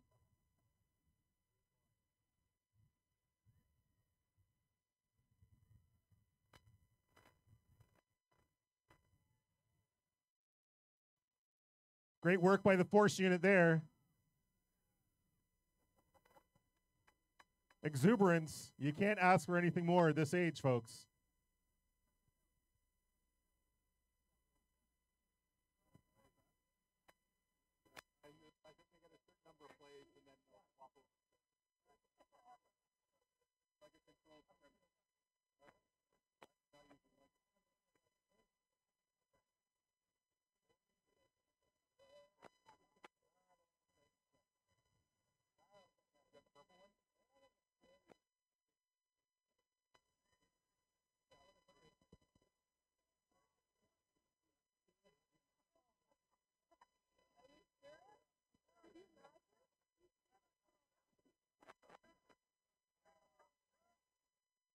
Don't forget, folks, there is a concession stand that's being run by the LMFA to help support LMFA, as well as our merch booth with all kinds of Beefeater swag for you, and the last call for those tickets.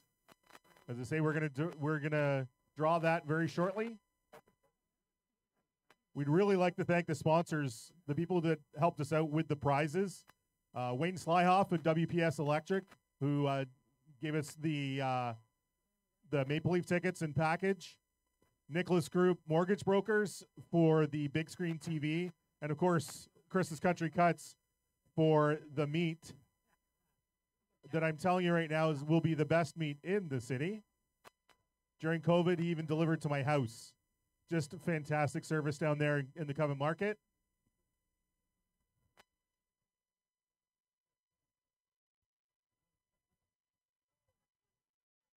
Ooh. Uh oh, ball on the floor. Ball security is key at this age, as in all ages.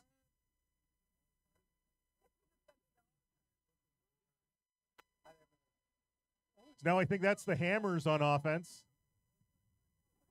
Cobra's on defense now.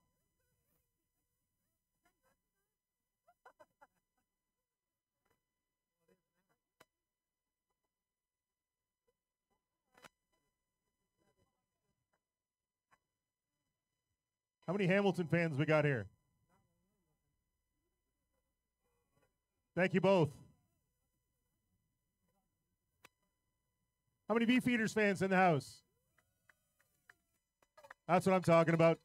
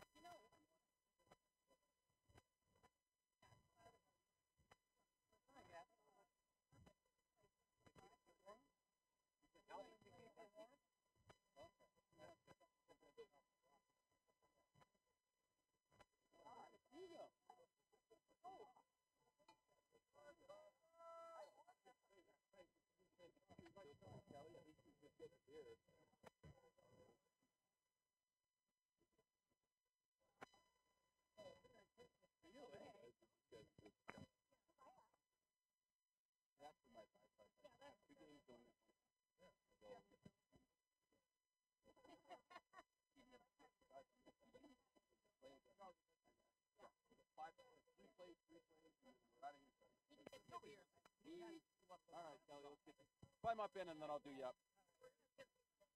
Got the got the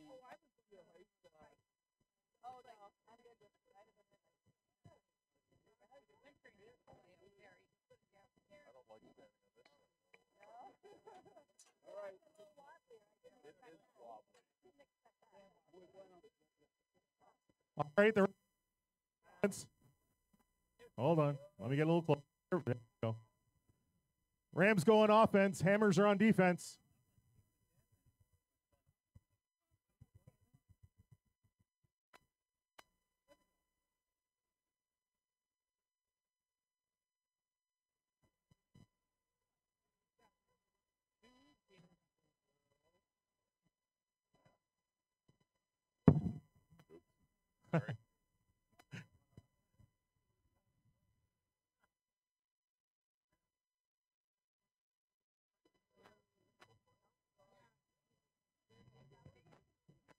The Beefeaters and the Mustangs of the future. Oh, is he? Oh, cool. Oh, a little misdirection by the Rams. Makes a move. Stiff arm and a good tackle by the Hammers. Good gain by the Rams there.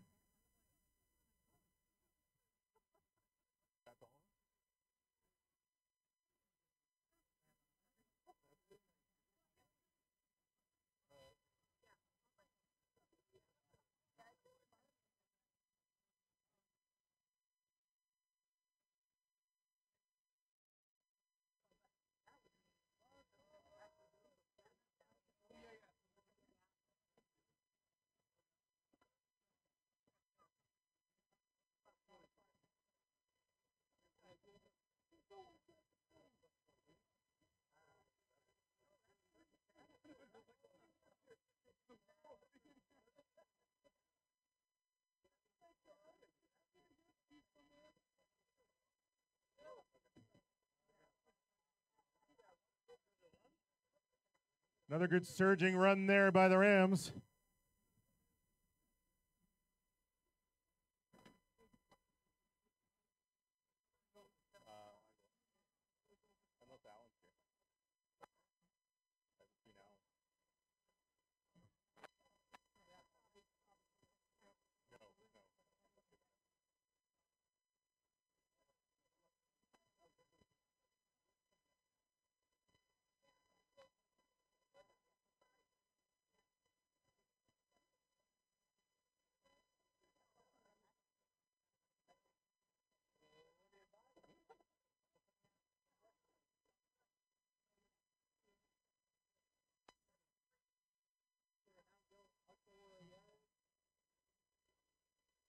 The works for the Rams into the end zone for a touchdown.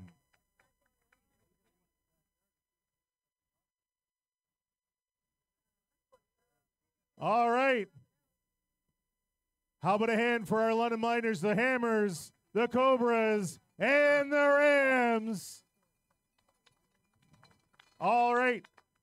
Now, I have my beautiful assistant. Let's move on here. All right, my beautiful assistant has all the tickets in this bucket. Here we go. Nice to see the kids getting out on the field, and you know, like you were saying in the first half of action, Ron Ferwerda, that you know potentially all those little Cobras and Rams and Hammers and Red Storms, they could be donning a Beefeaters jersey one day. Yeah, you know, it's great to see these kids out here. It's a big thrill for them f- to play in front of all these wonderful fans and everything else. Uh, you know, looking out there for me, there's about three or four guys that are coaching out there that I'd been a, a coach of myself along the way. So it's really great to see these kids, you know, have a great time. Have see these coaches have a great time. Uh, you know, just wonderful, great, great experience for everybody here. Now remember, the Hamilton Hurricanes won the coin toss and deferred to the second half, so they're going to the ball to start here in the third quarter of play, down 10 nothing. This is, though, a team in the Hurricanes that, well, shut out their opponent in the third and fourth quarter last week in a 23 to 13 loss to the St. Clair Saints. And to compound that even more, Ron, all of their points, the 13 that they garnished on the scoreboard, also took place in the second half. So, not that they're going to deja vu all over again on us, but they truly were a second half team last week. And if that adage holds to, true this week for Hamilton, well, I mean, they got plenty of football left here, just down 10 nothing. Yeah, you know, realistically, you're, a two score game, which this game has really been a fantastic game of just everybody just doing a great job. As we see producer Adam trying to get a great shot of us, which I don't think it's possible be- between. Is it possible not to get a great shot, is what you're saying, Ron? No, that's not it at all. Yeah, I, So if, if you are Jason Hayes, though, and Yeah. the coach of the Hamilton Hurricanes, eh, what are you changing in your offense, if anything, knowing that you did go from your starting quarterback, Kieran Dage, to your backup, James Duke, and now we've actually seen the running back, Caden Williamson, who we didn't see a whole lot in the first quarter, who had 56 carries coming into this game, a lot more near the end of that second quarter of play. So maybe a little personnel change, but would you change anything in the playbook? I, I really like what they were doing in the first quarter, where they went with that hurry up, that that high tempo type of offense that they were running. I like to see them come out and uh, and do something like that again here in the uh, in in the early moments of the third quarter, and really try to establish that pace again. What you're trying to do is get first downs and something. You want to get all your bodies out of here injury free. You want to have everyone playing smart football, as we do see that penalty, by the way, at the end of the first half being enforced at the start of the third quarter. Adrian Henry as well as Jesse King back to get it. And Jesse King actually gets this ball moving past the 30 yard line, sort of ran into his own black uniforms, and he'll be hauled down at the 35. So a good return there by the by the Hurricanes. Ball's at the 35 yard line. Let's see what they do here. I like I said, I'd like to see them come out more of that tempo style of offense that they were doing. I thought they had some success with that in the first half. I'd like to see them go back to that, but mix in some of that run as well. Hurricanes come in with a 3 and 4 record. They're trying to avoid to go 3 and 5 in the 2022 OFC regular season. Regardless of how they finish record-wise after today though, they have locked up the fourth and final playoff spot and more than likely, well, likely more that they'll play the Saints in Windsor on October 15th. Jordan Wright's feeling it out there. So back to work go the Hurricanes. This one's thrown over to the right side. The pass is completed to Carter Moscone. Moscone gets up past the 40 yard line. They're going to mark him down at the 42. Maybe two or three yards shy of the first down. Coach, what do you do here? Well, you know, we, we're seeing kind of that theme of the second quarter bleeding in again. That short passing game, get the ball out wide, try to get it out into space, make a guy miss. We saw the Sooners last week in this very same field go for it multiple times on third down. They converted about, well, 40%. Is back into the gun right now, by the way, is Dage. Dage is back at the helm. He's going to hand this ball off and scooting over to the right side now for the Hurricanes is Adrian Henry. Henry picks up the first down and keeps the chains moving. Yeah, good gain of a gain of about five or six yards on that. Needed three. Overload. All you're doing there is just reading your blocks. He does a predetermined. Try to get out outside on that. I would like to see him stick his head inside and try to turn it up a little bit earlier. Go all the way back to week five. That's when the Hurricanes beat the Quinte Skyhawks at Loyalist College in Belleville, 37 to 27. Kieran Dage was named the OFC Offensive Player of the Week, throwing four touchdown passes and 249 yards on the day. He's going to go back to the air here, completes the pass to Keyshawn Jordan. Jordan skips off of one tackle, smothered out of bounds near the Beefs bench, but it looks like a gain of 12 yards. Yeah, again, just that step off. If the Beefeaters are going to be playing seven, eight yards off with their DBs, this is an easy completion. This is what Coach Snyder would call money. So this is just like taking money from a from a from an elderly citizen, unfortunately. I, just, Oh, wow. I don't know why I went What are you doing on the Wow. weekends, So anyway, um, Uh, going back to the quarterback situation for the Hurricanes, we see Dage back at the helm after having a nibble of Duke in the second quarter. Is this sort of patty cake quarterbacks or just going with the hot hand? I think they're they're they're trying to get equal reps for everybody, get everybody some game playing. Dage protected in the pocket. Eventually has to avoid the beefeater. Is he going to get rid of the ball? Zigzagging back and forth. Eventually throws it down the field.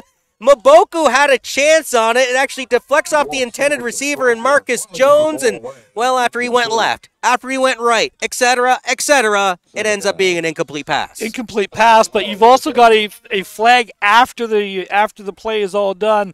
I'm going to think the beefeaters are going to get called for unsportsmanlike conduct on this, and this is going to be going up, I believe, 15 yards. The whole first quarter was a battle of the punters between A.J. Williamson and Max Sherwood. Williamson ended up getting the benefit of the kicking game, though, by getting a 23-yard field goal with 112 remaining in the opening quarter to make it 3-0. Williamson would hit another two field goals in the second quarter, plus add a rouge to pretty much conclude all 10 points off of Williamson's boot.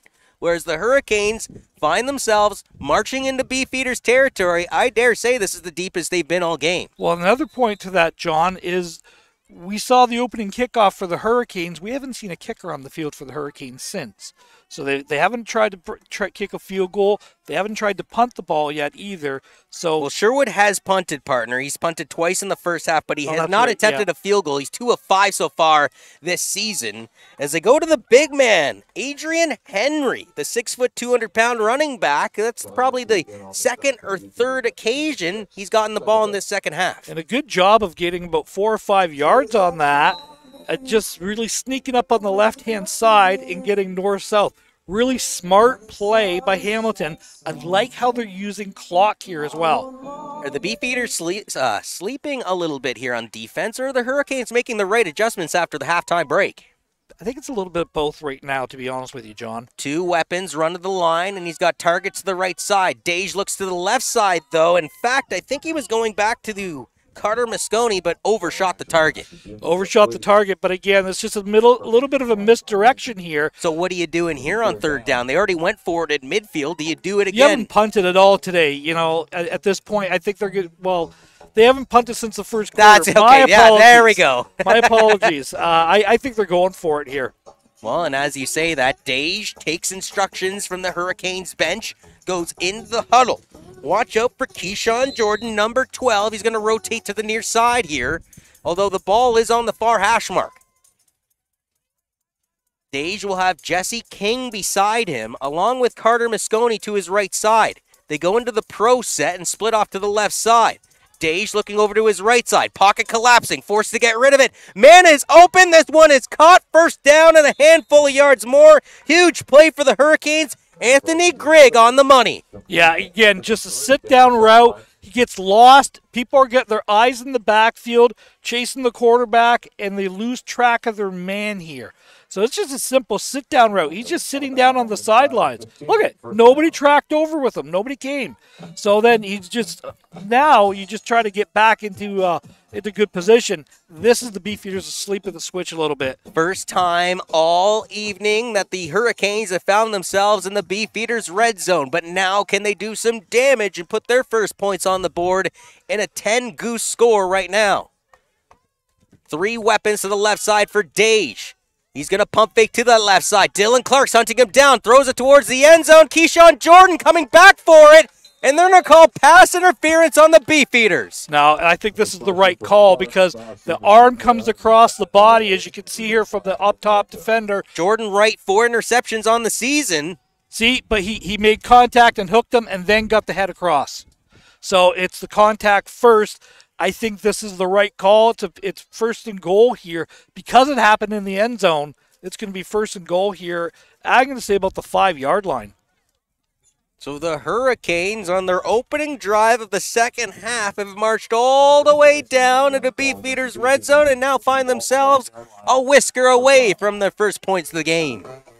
Well, and again, not only that, but John, you know, you've done a good job as we see their heavy package coming into the uh, to the game here. Those are some big boys, including number 90, Mason Burnett, 6'4", 280 pounds, and Dylan Gillespie, 6'5", 260.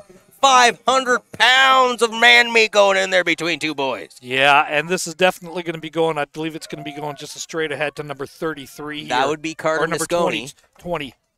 So they're going to hand this one off, and actually they fooled both of us, Ron. No, it It's did go to 33. 33, Yeah. Carter Moscone. After all, touchdown Hurricanes. With 10:27 remaining in the third quarter, they get their first points of the game. Well, see if the if the defense can hold serve now. That was a very impressive drive, aided by two penalties by the beef Beefeaters.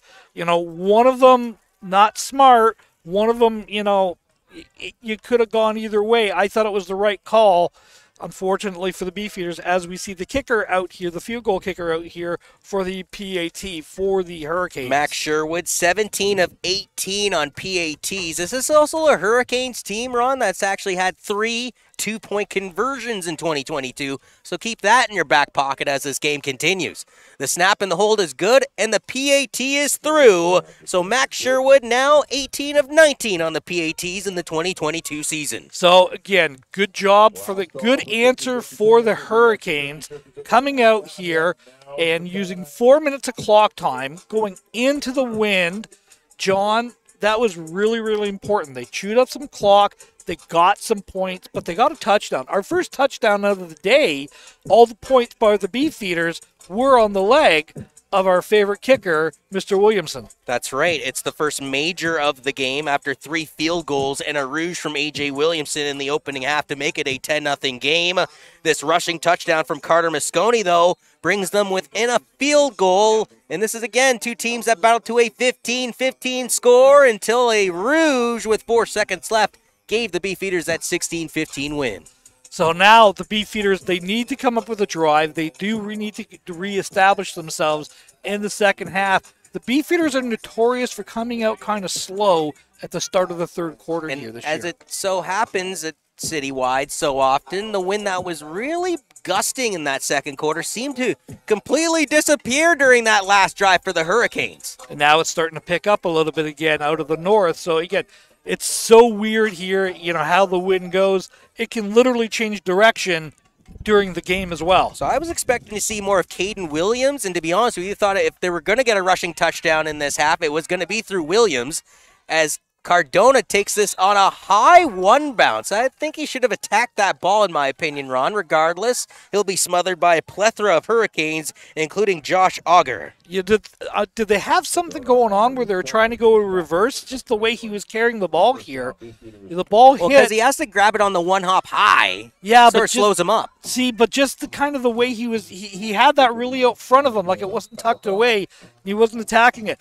Great job by Hamilton covering the kick, though. Max Sherwood has had to watch AJ Williamson, his counterpart, put up 10 points unanswered in the first half. Well, he makes the PAT after the touchdown, which was huge. That was a massive kickoff afterwards. As here we get Taz Van Bell leading the charge two up the field with the center, David Legg. That was impressive. Yeah, good job of center David Legg, the super senior out of St. Thomas. Just a Uh, yard shy of the first down. Good job. Look at that, pulling him right up front. Great finish. Nice little pancake at the end there. Well, you said it. After giving up the first touchdown and the first major, I should say, of this game, the Beefeaters need to respond with points in their own right here at home. And not a bad first play of this drive. Taz Van Bell picks up nine and a half. Tazzy stays behind the quarterback Ethan Chambers, and he'll actually motion Nigel Morris to the near side. It's another dose of Taz Van Bell, who scoots out of bounds. He needed half a yard, picks up five and a half. Yeah, good job. This is just a straight edge play. Get my fast guy out on the edge. Oh, flank the defense. We saw this play earlier. Wide Z receiver coming down.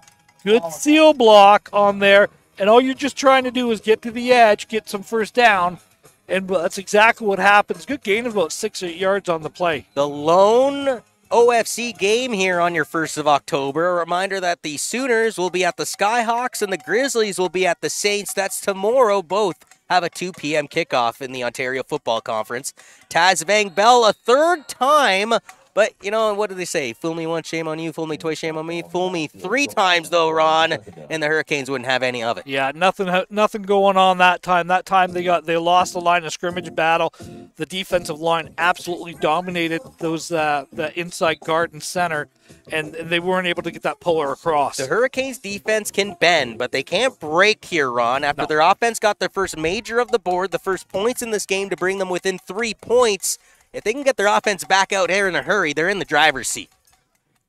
Chambers out of the gun, looks over to his left side, gonna go deep. He has Nigel Morris down the field. Incomplete pass. In fact, a diving effort from Adrian Allen, the safety. I thought he was gonna make a, a picket play out of the NFL. Yeah, you know, he, Ethan had had his eyes on him all the way. This is just a straight go play. The safety, you're right, had a better chance at that. who's got two interceptions so far this season. Adrian Jermaine Allen, 16 total tackles and two picks coming into this one. Yeah, so again, just a good job for the Hamilton defense. Not they gave up the first down. Okay, fine. They gave up some field position. I do like seeing Chambers take that shot. yeah, I do too because I think it opens up things down down the line, which is what you want to do. You're you're not only playing for today, you're playing for two weeks for today as well. AJ Williamson has produced 10 points in the opening half of play, and he's had a heck of a job booting this ball, and this one goes all the way back to the 32 yard line. Trying to slice and dice back the other way is Luca Jones. Jones staying on his feet, extending this play through the 50 and past midfield, eventually smothered down to the turf, and it's the kicker of all people, AJ Williamson. I mean, give this guy a shot at throwing the ball the way he's playing tonight. Yeah, he, he sees that the, the Hamilton's got the edge here. Good high kick, got the coverage down there. Scott at the 32, at the 35 yard line. Incredible job by Jones right there to bounce Yeah. to the outside and keep it going. but we got a missed tackle inside there by uh, Wolf Silm. He's got to get that tackle right there. Otherwise, Hamilton's getting the ball at the 40 yard line. That's a 30 yard pen. That's a 30 yard miss. You know, who didn't miss the tackle though. The kicker of all people, AJ Williamson. they are absolutely 100% people too. First and 10 for the Hurricanes offense, starting from the Beefeaters 50. Three will swag to the line. Taking the snap is Dage. Dage fires it over to the right side. Pass is complete.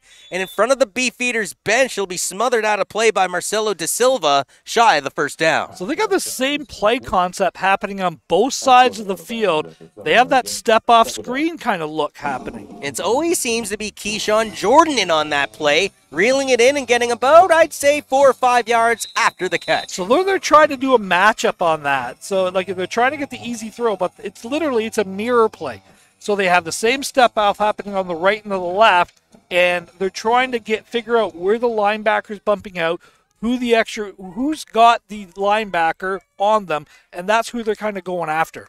Dage, a delayed handoff, almost a, a double delay, if you will. It was the touchdown getter, Carter Moscone, eventually getting the rock, but him and the quarterback looked confused after the ball was snapped. Yeah, they these guys are not on the same page on this one. One's expecting him to go left, the other one goes right, and it's just. I'm surprised that they he he handed the ball off. I thought he was just going to take off and go with it. Uh, after all, good gain on the play of about two or three yards. So after that broke, and again, they're going for it on third down. And here, I John. noticed Kieran Dage actually ran all the way to the sidelines, got instructions before going into the huddle, and they're going to attempt this third down play. They need at least six yards. Three targets to the left side. They looked a little offside, if you ask me. Yeah, I did too. Incomplete pass as Dage was trying to target, well, Eric Tavares for the first time in this game. I thought the uh, Hamilton receiver was offside. I thought it was the wide receiver, the the uh, Y receiver, which is the third the third one on the inside. I thought he was offside on that. But turn they- it over on downs, Johnny. If they punt the ball there, though, through Max Sherwood, I mean, you think you would rather in a 10 7 ball game here late in the third quarter put the Beefeaters further back in their own territory, no? Yeah, I, I would have liked the punt, but again, you know, there, there's a lot of circumstances we don't know. Either punting into that win, the ball's going to hold up. It we, we talked about it at the first half. It's about a 15 yard difference in field position.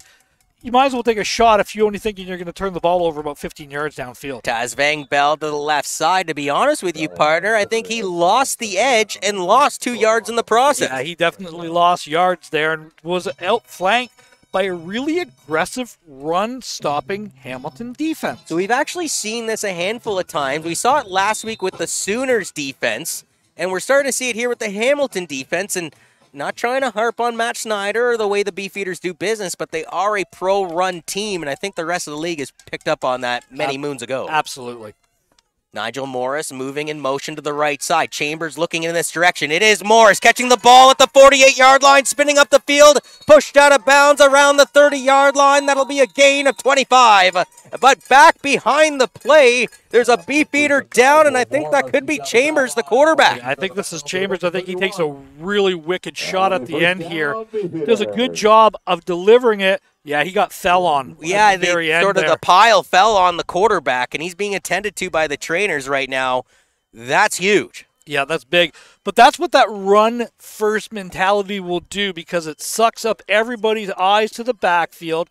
And what you're trying to do is get them to that spot where you can take the deep shot, take that wheel route like we just saw completed to Nigel Morris. Anthony Pinto's going out there as Chambers is still on the ground. We have seen glimpses of Pinto throughout the 2022 season. Remember, he threw a 23 yard touchdown to Josh Dahlberg and ran for a 10 yard touchdown in that 43 7 victory in Brampton over the GTA Grizzlies.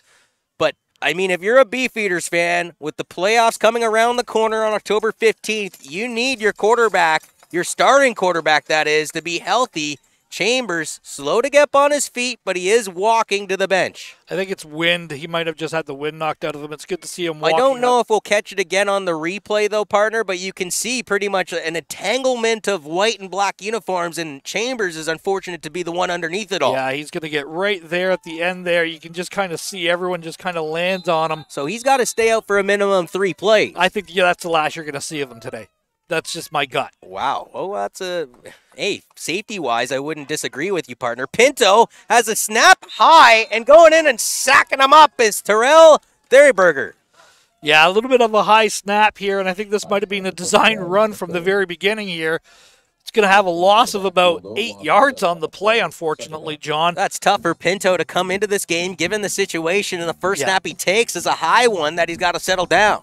Yeah, and he's he's got to settle the team down here. He's got to take them on a drive here, finish this. Okay, you got to get some points on this with the wind at your back. Really surprised. Now you got a second and long situation, but don't know why on the first down you don't settle the quarterback in with a nice run play that you've been doing so casually throughout the 2022 season. Pinto rolling over to the left side, firing this one to, well, sort of an empty field, if you will. Nick McKenzie was the closest target in range. Third and a mile, bring up Williamson to punt the ball away. Yeah, and, and I think on this particular play, all you're trying to do is he's trying to get it to a spot here and let his receiver run in there. But great coverage downfield, nowhere It really almost to go like here. Nick McKenzie got tripped up there yeah, the a little bit play. too, a little bit too. So, but he was really diving for that ball. That that wasn't going to get completed. Like to see him take a couple warm up snaps here and get a couple throws, maybe loosen up the arm here. We saw with 344 before halftime, A.J. Williamson attempt a punt from the same vicinity, and it ended up being a rouge through the back right corner of the Hurricanes end zone. 440 remains here in the third quarter of play. Williamson haymakers this one to the back of the end zone, and deja vu all over again. It's a rouge, and that is so huge because instead of it being a field goal to tie it, the Beefeaters now have a four-point lead. Yeah, and one point, you know, it's so easy. It's it's so easy to get points in the Canadian game with the kicking with the kicking aspect of it. But we haven't seen the ability for Hamilton to do that today.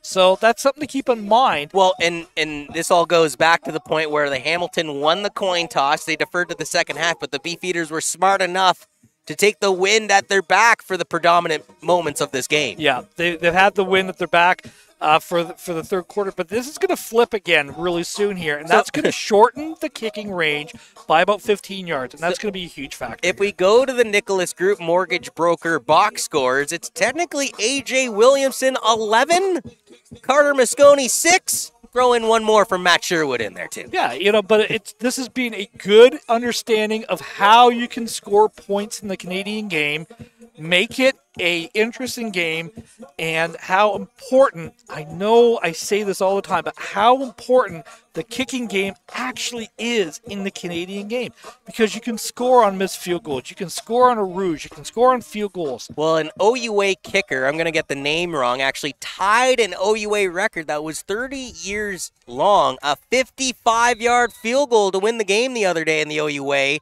And there was a lot of conversations about, well, why is 55 such a big deal as this ball is completed to Keyshawn Jordan in front of his own bench to pick up, we'll say, two or three yards. But going back to, you know, uh, just to call a spade a spade, a lot of the stadiums down south are counterparts that are American, nice, fancy, enclosed or roofed stadiums, or they're in parts of the country that are temperances to help kickers, such as heat and humidity and less wind. Well, in Canada, you're not going to get a nice stadium, you're not going to get a roof over your head, and Mother Nature is a you know what. So to have a good kicker is such a key asset. Here's another aspect that you got to think of. What are you kicking off of? Okay. So, are you kicking off a turf? How old is the turf? How new is the turf? Is it that long? Is it that short? Paul Samansky coming down after the quarterback in daze. The pass was deflected and almost an opportunity for Connor Crozier to come away with an INT. Connor, I, I've I've known Connor since he was 10 years old. I've coached him since he was 10 years old. He's a great kid. There's a reason he plays defense, okay? Uh, fantastic nose for the ball kid. Hands of stone. Absolute hands of stone. I mean, I, I, I love the kid. I really do. I, I know the family. I've watched him grow up. I've coached I've coached all of his cousins as well. Um, but Connor, you, you can put that on your highlight reel for later on as well. Max Sherwood will go back roughly around his 20 to boot this one away with 3.45 remaining in the third quarter. As you were talking about before, Hamilton content with utilizing as much of the clock as possible. We got a whistle here as I believe a timeout is taken. Time count. Yeah, Yeah, time count too much- violation. they took too much time on there. I so- thought for a second that a Hamilton coach was, you know, indicating they wanted to call a timeout before the time count violation. Well, it didn't happen regardless, and they lose five yards. No, but here, more importantly, Hamilton's punting the ball here into this wind. Well, it's third in the country mile. I don't think I- you're going to I- I- gamble for it in this section. I get that, but And it's a decent punt sent away. but see how it dropped. Well, the wind caught it for sure. Keegan Cardona grabs it around the 47 yard line. He'll be tackled quickly by Caden Williams, who I thought we should see more of from the running back position, but there's a flag on the play. There's multiple flags on here, so you're gonna have no yards, the five yard variety at the play here. But you've got a pl- you also got a flag on about the 35 yard line as well, really close to the Hamilton bench. That's the one I don't know what's going on with.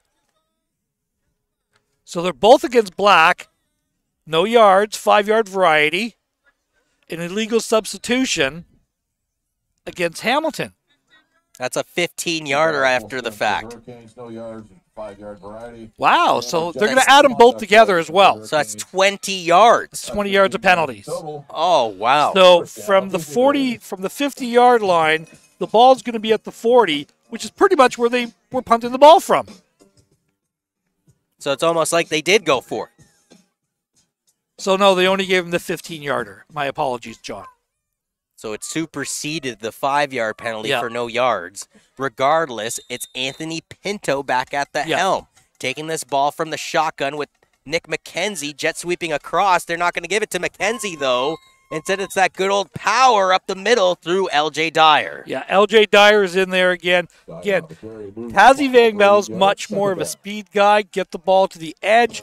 LJ Dyer is a little bit more physical, not quite as fast as Taz, but a really good in between the tackles runner. Well, you couldn't ask for a better start to the 2022 season than LJ Dyer had. The opening kickoff in our nation's capital back on August 13th. He took back 105 yards to the house, matching a 39 year record set by Tom Bitts of the Beefeaters. Pinto, with two men in motion, takes a bit of a high snap, settles it down for LJ Dyer. Dyer through the original seam, and that's just some rock in a hard place kind of contact between him and the Hurricane. Standing his ground was Adrian Allen, but not before being popped by the running back. Yeah, and this is I like this I like this play call of what they're doing here. They're going after them and they'll we're, let's settle our quarterback down. We got a new guy in there. Let's get some first downs. Let's get a let's get a couple first downs here. Let's use this wind, which is at our back here, for another 234. Let's get another score on the on the board here. Even a field goal would give you seven points again here, John. Yeah, I would restate the Yeah. major. And unfortunately for the Hurricanes, there is a hurricane down here. They already had a handful of scratches coming into this, Ron. I'm just counting them out right now. Over 20 scratches coming into this game for the Hurricanes. And you see number 26 who tried to get up there, but you know, he came back down. That's Tristan or Tristan Jameson, the defensive back. He has his helmet off. I hope he's okay. Yeah, I think it's a hand that uh, he was trying to grab a tackle or something in there, and I think he just got popped a little bit the way that he, uh, the way he's holding his hand. Yeah, because he's not carrying his helmet off, that's for sure. And it's either a shoulder or a hand, but he's in a lot of pain. That's that's unfortunate for the young man. It's been a really back and forth season for the Hamilton Hurricanes. Remember, they started off the year with a 24 0 shutout over the GTA Grizzlies, but then they lost the St. Clair Saints 20 to 6. They lost a heartbreaker at home to the Sooners 28 to 21. They would hop back on the winning streak, beating the GTA Grizzlies and the Quinte Skyhawks, but then again have lost two straight to the Beefeaters and Saints coming into this one. So Pinto hands this one off to Taz Van Bell, who moved to his left, cut back to his right. If it wasn't for some active hands and tackling by Adrian Allen, already mentioned actually kind of a quirky thing. These two, Jeremy Michael Hicks and Adrian Jermaine Allen, they both come into this game with 16 total tackles and two interceptions each. Yeah, but you, you see on this run, Ron, if you don't trust the guy with two you- they're playmakers. yeah, you got me off guard there, John. I, I don't. I got nothing on that. so are you impressed with Pinto so far on this drive? I, I like the the play calling here. Let's settle everything down. Let's run. He's sweeping across, but once again, it's pretty much a distraction. Instead, it's Taz Van Bell. He needs three yards here. Does he have enough to move the chain? I think he got three and a half. He got really close to it here. I think they're going to give him the first down. To be honest with you, John. So as the official puts the pigskin down, No, it, third down. Well, no, Oh, it is a first first down. down. I was, Oh, okay. I was going to say oh, one means One, first. yeah, no, but one guy did put three. The guy on the sidelines, who I was looking at, put three fingers in the air, and then the guy in the white hat put one finger in the air. Taz Van Bell maybe a little banged up at the end of that play. He's going to come off, but not a bad problem to have if you're Matt Schneider as LJ Dyer doses back in. Exactly, and again, I, I like what they're doing uh, with mixing up the running backs here, keeping them fresh. Dyer with five rushing touchdowns. Taz Van Bell with three rushing touchdowns. As we get a dose of Dyer bouncing off of one or two tackles, he'll take a mean shoulder, but not before crossing over the 10 yard line, close to the five. Uh, he'll be, we'll say, a half yard shy of the first down. He's again a really good job. I I want to get the replay on this if we can, Coach Adam. Who's the receiver screaming in for that block there at the end? That's a great job of bringing a linebacker out of position because he was tracking him. Yeah, it's Nick McKenzie on the That's there. Nick McKenzie. This is a great job. He really attacks the edge with a full head of steam here, and it allow it does open up the inside run the game. So it is Ian Wilson also behind the backfield trying to help out LJ Dyer. Dyer only needs two yards here. He'll get three, moves the chains. Not only are the Beefeaters in the red zone, Ron, it's first and goal. First and goal, and this will be the last play, barring a penalty. Well, you, you said that you said that after the second quarter, and that wasn't true. Remember?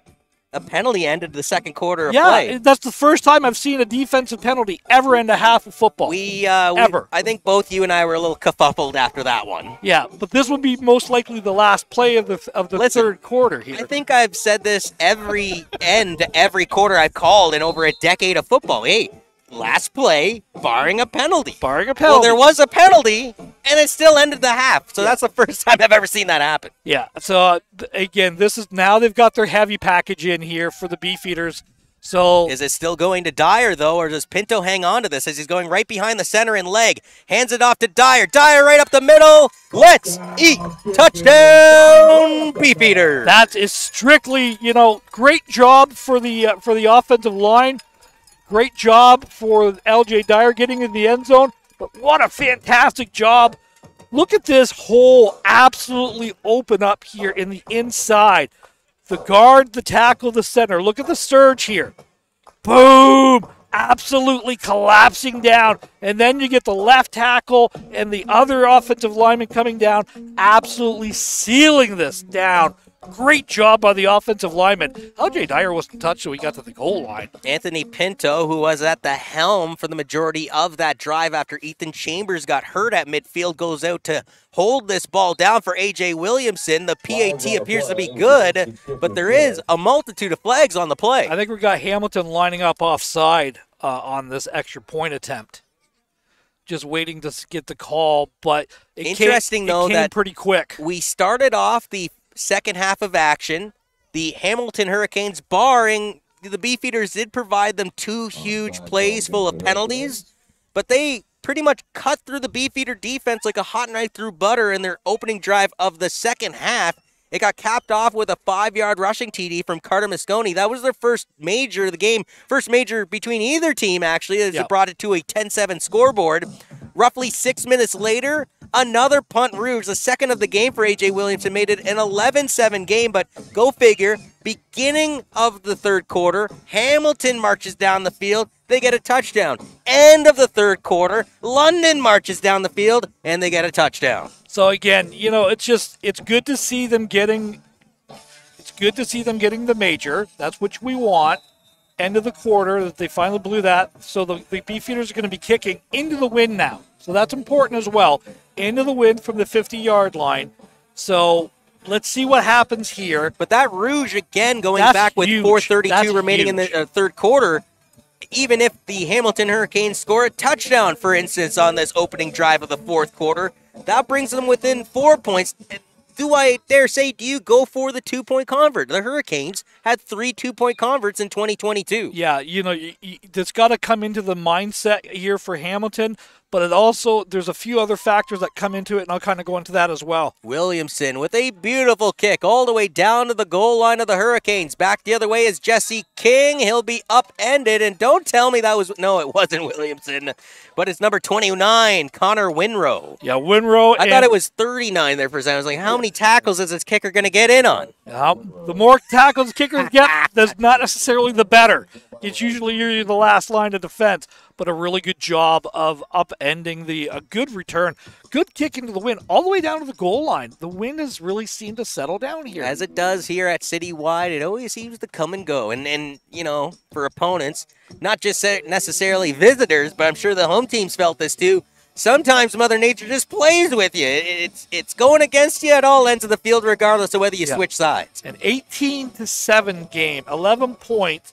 So you need to think you, if you're going to do it in two scores, you're the two point conversion's definitely in. But if not, you're in a three score game where three scores somehow have got to happen. Powell Samansky. No, actually, I apologize. That's Nick Samus, the linebacker, knocking down the Dage pass attempt, brings up second and 10 quickly. Yeah, he's playing the defensive end position, just sits down. If you can't get to the quarterback, get your hand in the passing lane. That's what they teach defensive linemen. That's a perfect example. Can't get to the quarterback, sees him setting to throw the ball, gets his paws up and knocks the ball down. It would be great for the Hurricanes to get some points on this drive, but probably more prevalent in their mind right now is getting more field positioning. You don't want to go three and out after giving up a touchdown. Well, exactly. But yeah, you, you have to you got to think of the amount of possessions you're going to have left in the Dage fire this down the field. Great pass deflection, and yet again, this is Connor Winrow getting a paw on it. Wow, he's had himself a great game. He had the interception on the opening drive here for the Beefeaters. And look at that. Really just reaching up at the last second and taking away what could have been a house call for the Hurricanes. It looked like the Hurricane had just slipped behind the double coverage, but at Winrow sort of half skipping, half jumping there, got one of his hands on, I think his right hand, as you're going to take one more look at it here on the replay, Ron. It's a really, really good job of tracking it across the top. oh, boy. Almost like he was going up for a layup in basketball, but instead he deflects the pass away. I think the returner's got to go back five more yards here because the wind's at their back. I, I, it's easier to move up than it is to move back. This is dangerous where they are. Nick McKenzie is at the 50. I believe that's Keaton Cardona around the 45. Just getting this one away was Max Sherwood. McKenzie gets it at the 54. He'll be met immediately, though, by Caden Williams. And to be honest with you, Williams has made a handful of tackles on special teams. This is a guy I thought we would see from the running back position here today, Ron. He has 56 carries coming into this game, 234 yards. That's an average of 4.2 yards per carry and three rushing touchdowns. Yet we haven't been calling his name practically at all from the offensive side of the ball. No, you know, and that's unfortunate. Like again, it's good to see some of these other guys getting some carries in here. You don't know what you're going to need and when you're going to need these these backs. And you, you sh- sure as salt don't want to show the Saints, the St. Clair Saints, that Yeah. is, any more of a playbook than you have to. Pinto still at the helm, hands this one off to LJ Dyer. And going back to a comment you made as Ethan Chambers, the starting quarterback, was walking off the field in the third quarter, you said his night is done. And to be honest with you, that looks to be the case. Anthony Pinto's taken over. And remember, on his last drive out there, it was capped off by the three yard rushing touchdown by LJ Dyer. Yeah, you know, and not only do I do I think it's done, he's in his he's in a sweatshirt on the sidelines, so his night was done. You're not taking your, you're not going to have your starting quarterback at, at this point. You want to get as many reps for as many different guys as possible. Well, and he's got exactly two weeks to rest up Yeah. and heal anything that ails him because he'll be taking on more than likely the Ottawa Sooners here at Citywide Sports Park. As this is a handoff to Taz Van Bell. Bell sticking out that arm, refusing to go down like the Energizer Bunny. Just keeps going and going. Original contact was made around the line of scrimmage, Ron. He bullies his way through another seven yards to move the chain. That's a great run by Taz Van Bell there. Just really good job of this is how you keep your hands active. There's your contact. Keep your legs going. Run through contact. Keep driving. You haven't heard the whistle. Great job. took more hurricanes hitting the Florida coast than to take Taz Van oh. Bell Oh. down. Oh, I threw one in there. I know. It's, it's not as bad as the one I put in there earlier. Just saying. yeah, yeah, That yeah. was- that was bizarre. I, I, I apologize to the entire football community for that one. They're gonna go back and try and listen for Wow. it. now. As LJ Dyer literally hopping his way Yeah. through the line of scrimmage, picks up about well four yards. That's his average. Yeah, just watch this right away. They're they're trying to get him. They know that they're coming off the edge there. Hop right there. You know, if he doesn't, he's probably going to only get about a yard carry, yard gain on that. As someone's arm was coming across there. As there we see, you know, on the on the uh, on the shot, Ethan Chambers. How do you gauge Pinto's performance so far after taking over for Chambers? He's done exactly what he's needed to do. He's he's managed the game. He's distributing the ball, and as we see, Taz Van Bell nowhere to go on that one. Well, pressure was coming down immediately from Hunter Gregg, who just stymied Taz Van Bell enough to allow the rest of the black uniforms to gobble him up. It's a third down. You'd assume A.J. Williamson's coming out here with 11:35 remaining in the game. Yeah, I, I would assume so as well. You know, there, I don't think there's any question. As we see the field goal puck, he's going to try a field goal. I'm not. I think this is outside of his range. So it is As, seven oh as the wind starts to pick up. 706 locally, and the lights are finally being turned on here at Citywide Sports Park. This is a 46 yard attempt from the middle between the hashes. And as Ron was alluding to, this is into the wind, folks. This would be one impressive kick. The snap and the hold is beautiful. I think this one's going to lose muscle. No, it's got just enough. The field goal is good. Another huge field goal by A.J. Williamson. Wow, that is a massive kick into the wind. Right here, I thought, no, it's just short. You know, I thought he was where they were lining up. I thought eh, five yards too short here, guys. Let's take a look at it one yeah, more I, time. I, I want to see this one more time here. This is where I thought, no, I thought it was short. It's just the way it was dropping. we saw him hit a 49 yarder last week against the Sooners, but that was with the wind at his back. And to be honest with you, Ron, you and I were both in agreement that he could probably hit from 55 in the same condition. Where here, we knew the wind was against him. And that ball sort of stalled out about three quarters of the way through its journey, but just hopped over the crossbar and went through the fork. We know he's got enough leg for it. That was not the question. It was with the wind, and the wind was starting to pick up at that moment again. That's kind of where I was like, mm, I'm not so sure. Jesse King, a great run, eventually smothered down to the turf by Dylan Clark, but not after moving the chains and gaining 13 yards. Yeah, nice draw play, nice little play design here. Fake a little, just show the ball half a second. Look at the hustle from Dylan Clark.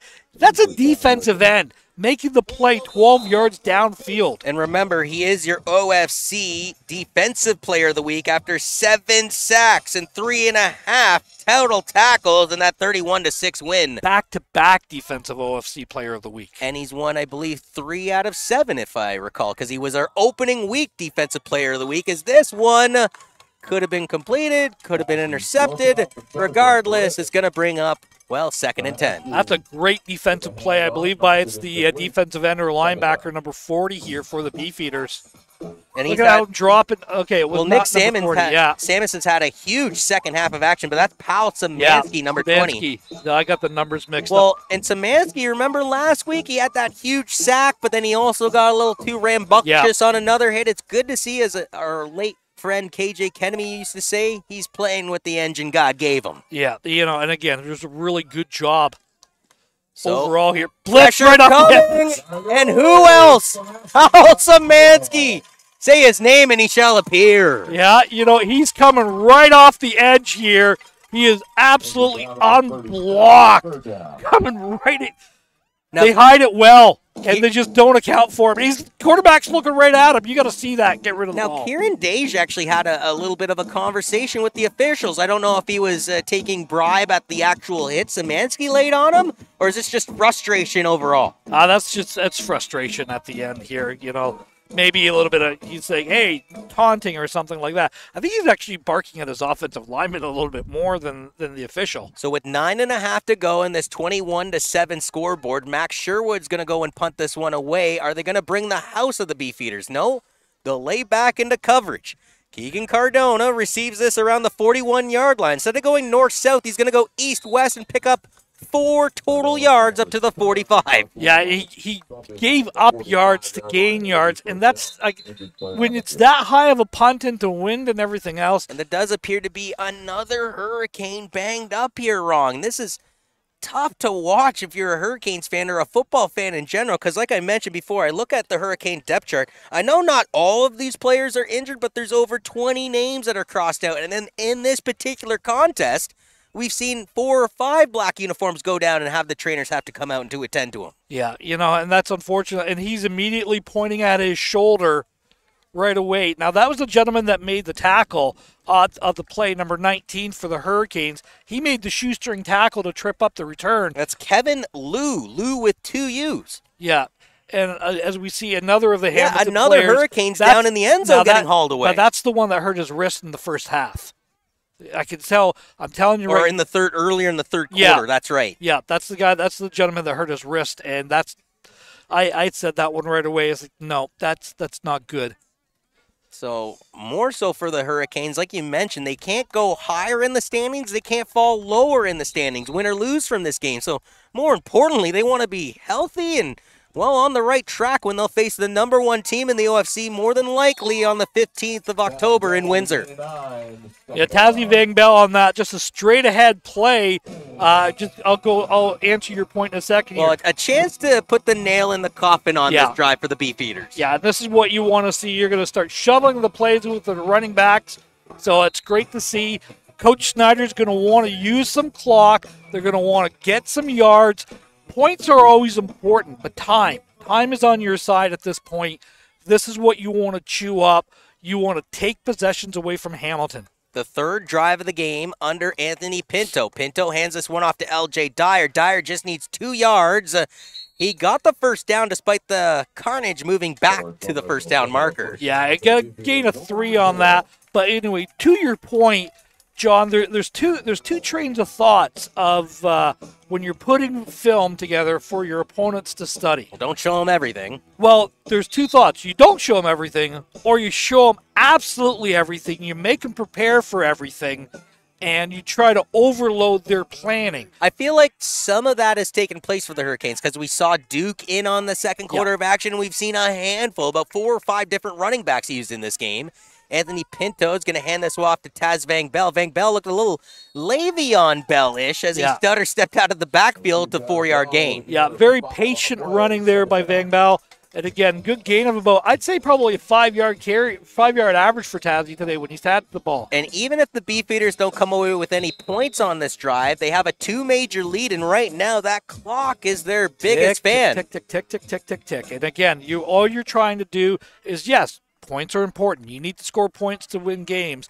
But more importantly, at this point, it's time possessions and limiting the number of possessions that Hamilton's going to have. Pinto hangs on to this one. He's going to go for a gander over to the right side. Look at this young kid go. Rumbles past the first down and gains about, well, we'll say 18 yards. Great play on the great run on that, and he was motoring. Look at the little the diminutive quarterback. Get to the edge here. Good job downfield by I think it's number six is the receiver there for the It's a gain of actually 21 yards, Ron. And even more importantly to me, when Pinto gone to open real estate, it almost looked like he got faster. Yeah, like he, he was get going. Now, that being said, you don't want your backup quarterback Yeah, that's right. Getting out there, but I know the Beefeaters have three quarterbacks on their roster, and all three of them can play. You don't want to burn through all of them, though, in the final game of the regular season, as Taz Van Bell will get the load here. He'll be stymied by Tristan Ballas, the defensive back.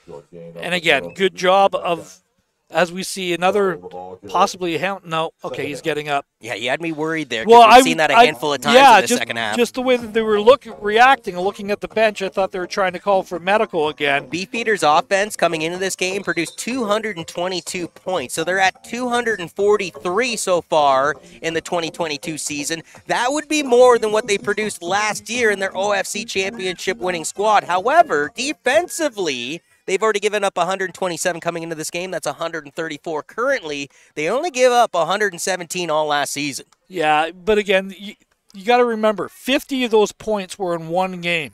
So you, you, you take one game factor in out, out of it. Although, yes, although I, was I- just going to say, I'll factor that back in. I know you will. because that took place in Windsor Yep. against the undefeated Saints. And in theory, if you're going to win the OFC this year and make it back to back to back champs, you're probably going to Windsor, probably facing the Saints, and sure as heck can't give up 50. No, you absolutely cannot give up the 50. And yes, all roads go through St. Clair. But all roads went through St. Clair last year Well, and on the most unbelievable game we've ever seen. which ended in a walk-off rouge. Hamilton fans know all about that from the last time these two teams played each other. This is AJ Williamson attempting another field goal attempt, this time from 32 yards out, and it is good. A 23-yarder, a 40-yarder, a 47-yarder, and now one from 30 plus yards out. Four for four on the day, plus two punt rouges, Ron. A heck of a lot of points coming off of 14 AJ Williamson. points coming off the foot of AJ Williamson, and he is really being the motor today for the Beefeaters. He and- has punted well. He has given them field position. He has set up their teams when they've needed to be set up and cashed in when they've needed. and, and I was going to say this playoffs are right around the corner. And he's proven that even if the offense, you know, stutters and gets a little cold and wonky, as long as they can get into their opponent's territory, Yeah. with the boot of AJ Williamson, you're in a good area to get some points. Yeah, so you've got to. That's going to be a huge factor. You have to think of it as if you cross the 35 yard line, you're three, you're in range for three in any stadium in in Ontario right now. You have to think that and have that confidence for the Beefeaters. Great tackle in the backfield. Yeah, number 39 went in there like a speeding bullet, and that's Matthew Smith in on the tackle. We actually see James Duke back at the helm, so another quarterback change for the coach Jason Hayes of the Hurricanes. When again, Coach Hayes, is, I, I believe, is like, no, we want to show you as much as we can, put as much on film as possible. I think that's what Hamilton's trying to do. That's why we saw that hurry up offense earlier today as well. Well, in the Put two losses they had to the Saints, awfully a lot closer than what the Beefeaters had. Yes. Remember, they lost 20 to 6 back on August 20th in Windsor, and they lost 23 to 13 at home. As this one gets deflected up into the air, it's the quarterback actually catching it and keeping the play going. Now, one thing that really concerned me there, three or four white uniforms mauling the quarterback, the black uniforms behind him, just watching. Yeah. What's this play? I- I, don't I- know why they get on your quarterback's back and start pushing him up I the don't field. think they realize they've he's got the ball. Look at the three or four black uniforms. There, It's your entire offensive line standing There's there at a that point. white- That is Whi- not. like white blood cells just going after the quarterback in Duke, and yet all the black uniforms were kind of just idly watching. I mean, I do get it, it's a 24 to 7 game and you only have 350 left, but you think, I mean, your quarterback's your number one asset. Yeah, and again, you know, this is it's kind of Hamilton came out with like a ball of fire when the Beefeaters answered. I, I, I kind of felt well they they've spent their bullets at this point. Max Sherwood punts this one away, a beautiful one into the evening sky to the 42, picked up by Keegan Cardona. Once again, goes a little east-west action. He'll get the ball up to the 48-yard line. Ron, he had a gain of four yards the last punt return. It's an outstanding six yards this time. Yeah. Okay. Here's the other thing that I want to tell you, kids. If you're playing special teams, producer Adam, if you would roll that replay, Go north-south. No, watch number 33 here for Hamilton. Absolutely do a great job. High motor kid, okay? He's going to come in right here. Watch him track all the way across, keep himself alive, playing with speed, and doing a great job. He's the one that actually makes a tackle on that. Carter Moscone, who has the lone major in this game, back with 10:27 remaining in the third quarter, got one from five yards out as the Beefeaters offense goes back to work here. So Pinto's going to hand this one off to Dyer. Dyer trying to march past the 55. He'll be down at the 53, and well, he'll be a yard or two shy of the sticks being moved. Great job. And again, he- he could have pulled this ball as well because this time the defensive end absolutely crashes down here. Watch his side vacate. And we've passed the three minute warning here in the final week of OFC action. Reminder that this is the lone OFC game today. Tomorrow, there's two games. The Ottawa Sooners travel down to Belleville to take on the Quinte Skyhawks, and the GTA Grizzlies go all the way down to Windsor to take on the Saints. Both have a 2 p.m. kickoff on your Sunday. Now, what is the unlikely scenario, but the scenario still that is possibly out there for GTA?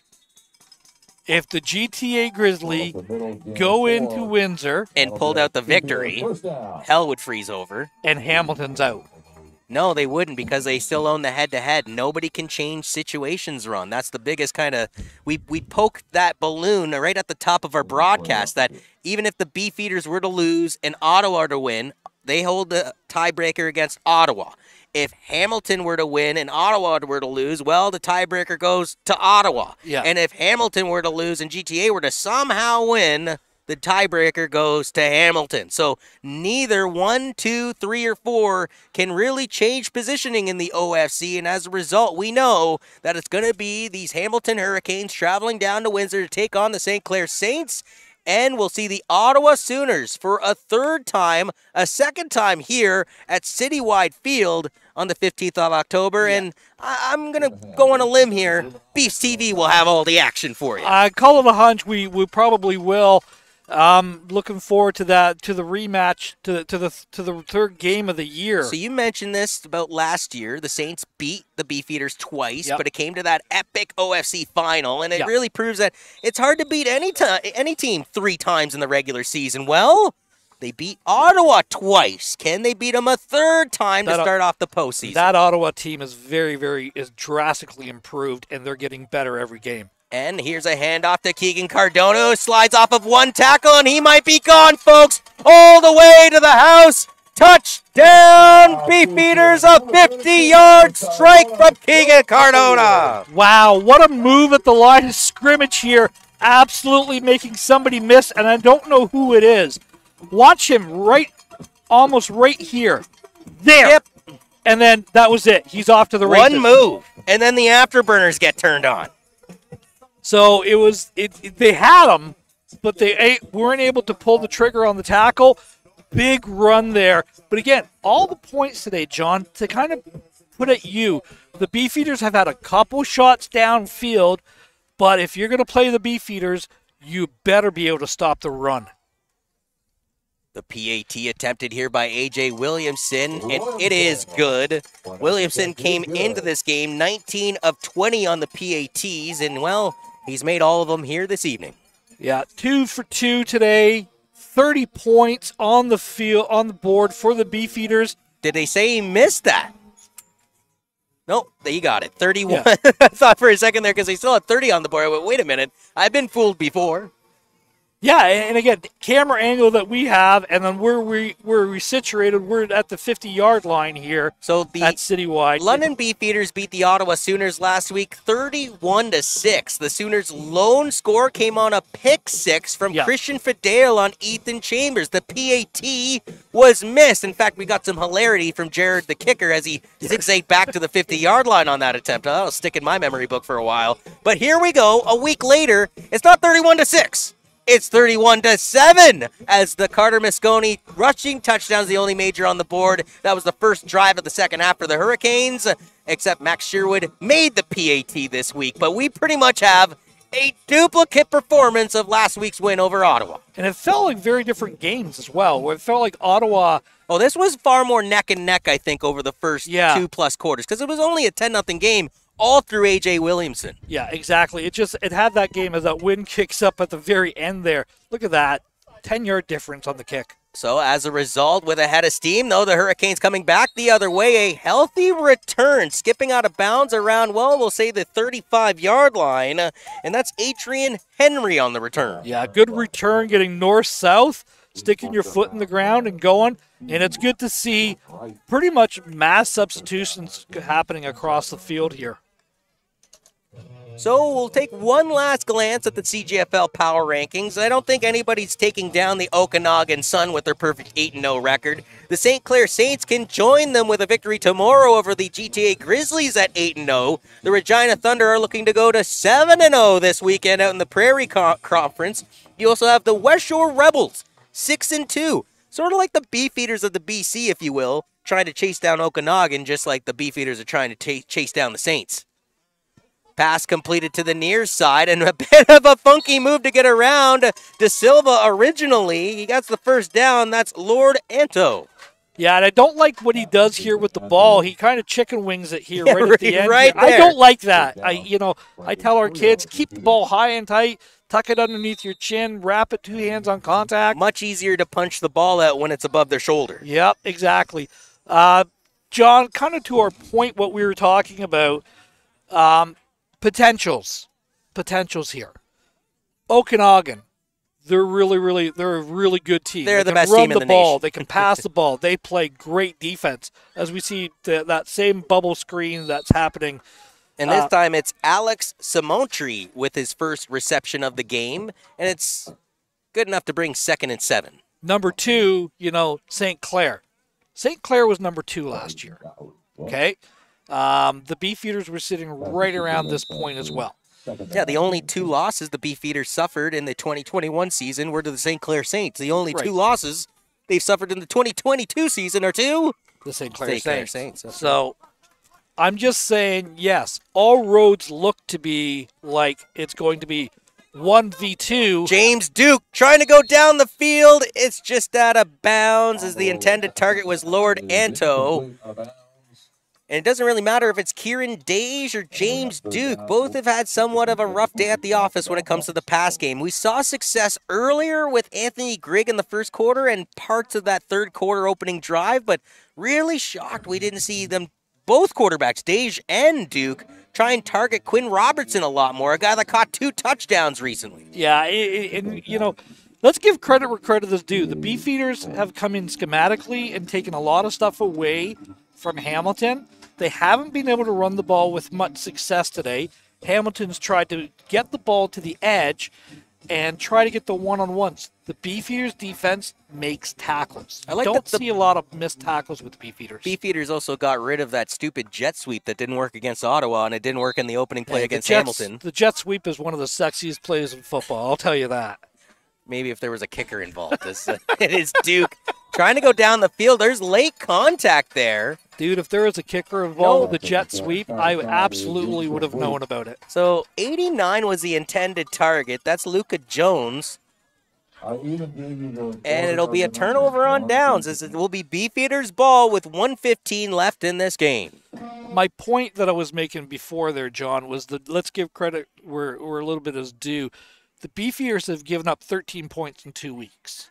You know, really, one of them was not even on their defense. It was the pick, Pick six. six, yeah, okay? against two reputable opponents in Ottawa and Hamilton. Yes, these aren't exactly slouch teams that you're playing here. These are really good teams. The Ottawa team is very, very improved from week one to where they are now. That is a dangerous team that is going to be coming in here in two weeks and let you know again everybody has the bye week next week for Thanksgiving and then playoff football starts here at Citywide, most likely at five o'clock at, on the Saturday on the fifteenth here on Beast TV. Damon Barrow takes a snap here as the quarterback actually takes the one snap and he's actually going to go out and changing up with him is Peter Burgess. So we got one snap of Damon Barrow who took over for Anthony Pinto, who took over for Ethan Chambers who got hurt, and now another quarterback, Peter Burgess, will take over for Damon Barrow after one snap. The fourth quarterback of the game for the Beefeaters with 51 seconds left on the clock. They're going to hand this one off and great defense there by the Hurricanes. You know, when you're losing 31 to 7, very easy to just get distracted and call yourself a day. But for Owen Jones, he says, I'm Mr. Jones and I don't play that, homie.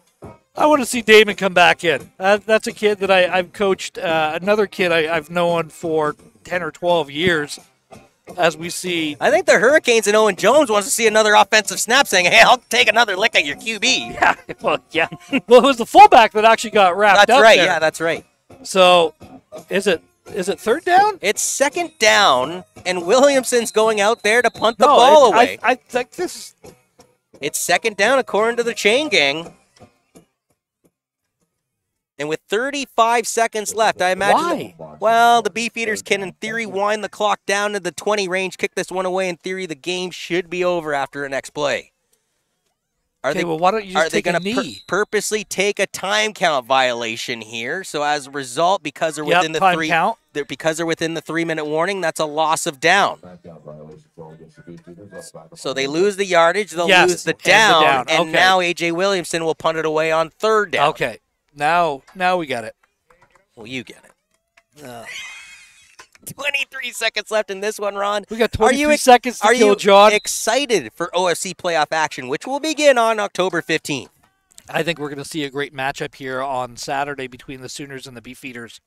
I I think that those two teams know each other. They know what each team wants to do, and it's going to come down to special teams and defense and which team can.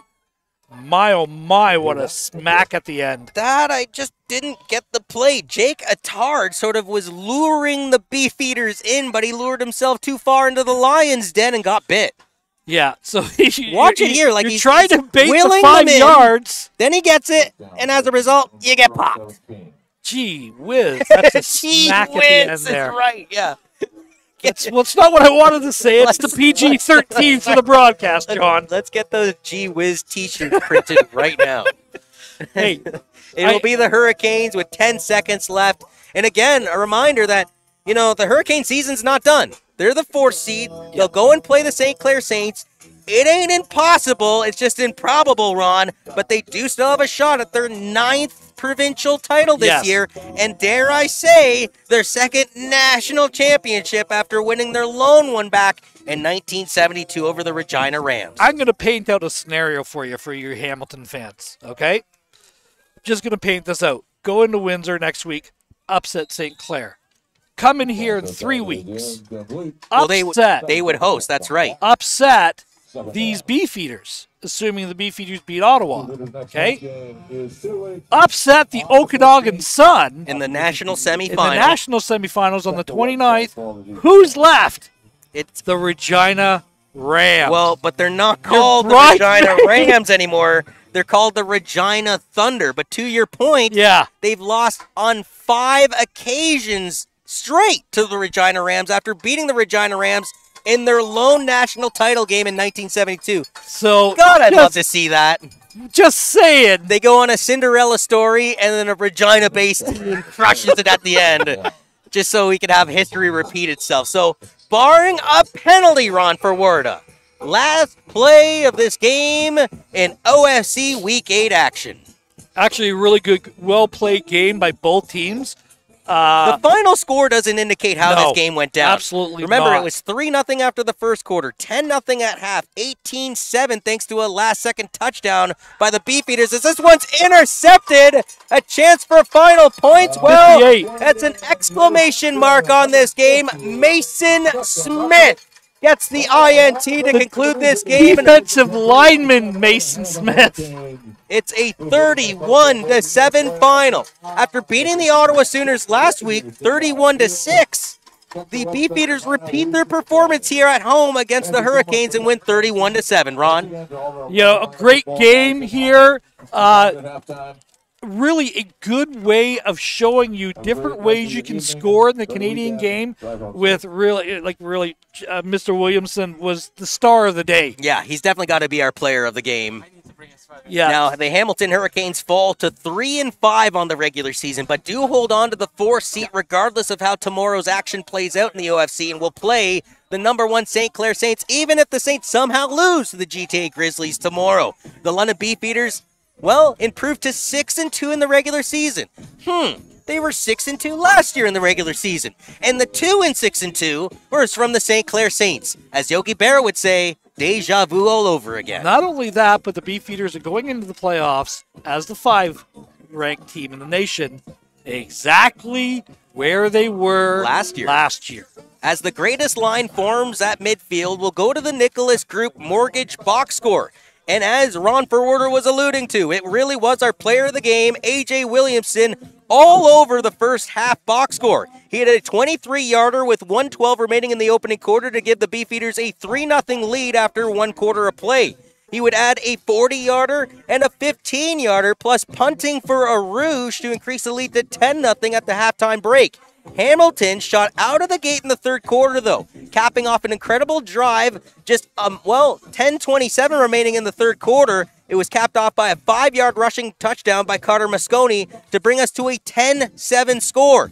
But that's as close as we would get here on your Saturday evening. As then AJ Williamson would add another two field goals from 47 yards out, 32 yards out, and two more rushing touchdowns from the Beefeaters. A three-yard rushing touchdown from LJ Dyer, the last play of the third quarter, and with 2:23 remaining in this game, a 50-yard scamper from Keegan Cardona, untouched after making one move at the line of scrimmage. Yeah, and really, it- it just goes to show what I was telling you.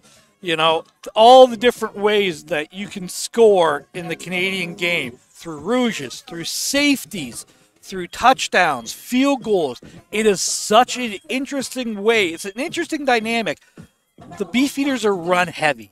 They, I think that they have to improve their passing game if they're going to go longer into the playoffs. But boy, oh boy, do they have a weapon in the special teams. Before we go, Ron, I kind of want to put you in the position of Kevin Ling. That's the head coach of the Ottawa Sooners. I'm assuming, Mr. Ling, thanks for watching, probably tuning into this broadcast to see these two teams duke it out. But more importantly, trying to gather a scouting report on this Beefeaters team that beat them twice in the regular season, including more recently last week here at Citywide Sports Park, 31 to 6. So, with all that being said, you're the coach of the Sooners. What do you take away from this game, and how exactly would you attack London in the opening round of the postseason? I think you have to go after London with the with the three by two set and try to get down the seam. It's the third receiver for Ottawa, which I'm not sure that they have that. Okay, uh, call it what it is. I think that Ottawa is a very dynamic team. I think that they can score points offensively to stop the Beefeaters. To play with the London Beefeaters, you must stop the run. It comes down to that. It will always come down to that for a Matt Schneider coach team. You must stop the run to have a chance. If you can't stop the run, doesn't matter what you do. They had 578 passing yards coming into this game, 1,699 rushing yards. And remember, our Cardona 50 yard rushing touchdown and LJ Dyer 3 yard rushing touchdown. And we saw that sort of duality, the evil tag team in the backfield of Taz Van Bell and LJ Dyer. That's a lethal tandem for Matt Schneider to have. Yeah, it, it's uh, as we see uh, a, a Matt Schneider tradition, uh, a little victory song at the end of the game. Uh, I don't understand how this is any cheesier than a Hawaiian shirt. it's not. It, it absolutely isn't. But it's different ways of building teams. Matt is much more of a building a team through camaraderie than you know. Let's do something funny. You know, like wear a Hawaiian shirt. Got to remember, there's a lot of these holdovers from that Gavin Lake team from last year, but this feels like a very, very different team to me coming into the playoffs than it did last year. So I want to give a big thank you to our London Beefeater TV crew, including our producer and director Adam Melrose holding us down, the Constantines doing all the graphic and replay information, Alex Schleihoff on camera, Ron Ferwerda, and yours truly, Jonathan Urbanowicz, happy to take you through this Week 8 action, which sees the London Beefeaters prevail by a score of 31 to 7. For the rest of the crew, I'm Johnny U, and we'll catch you around for postseason football on the 15th.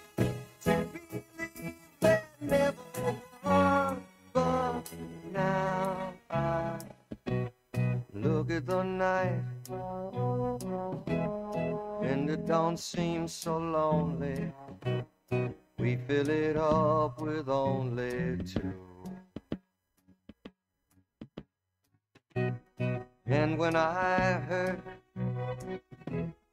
hurting runs off my shoulder. How can I hurt when holding you? One touch.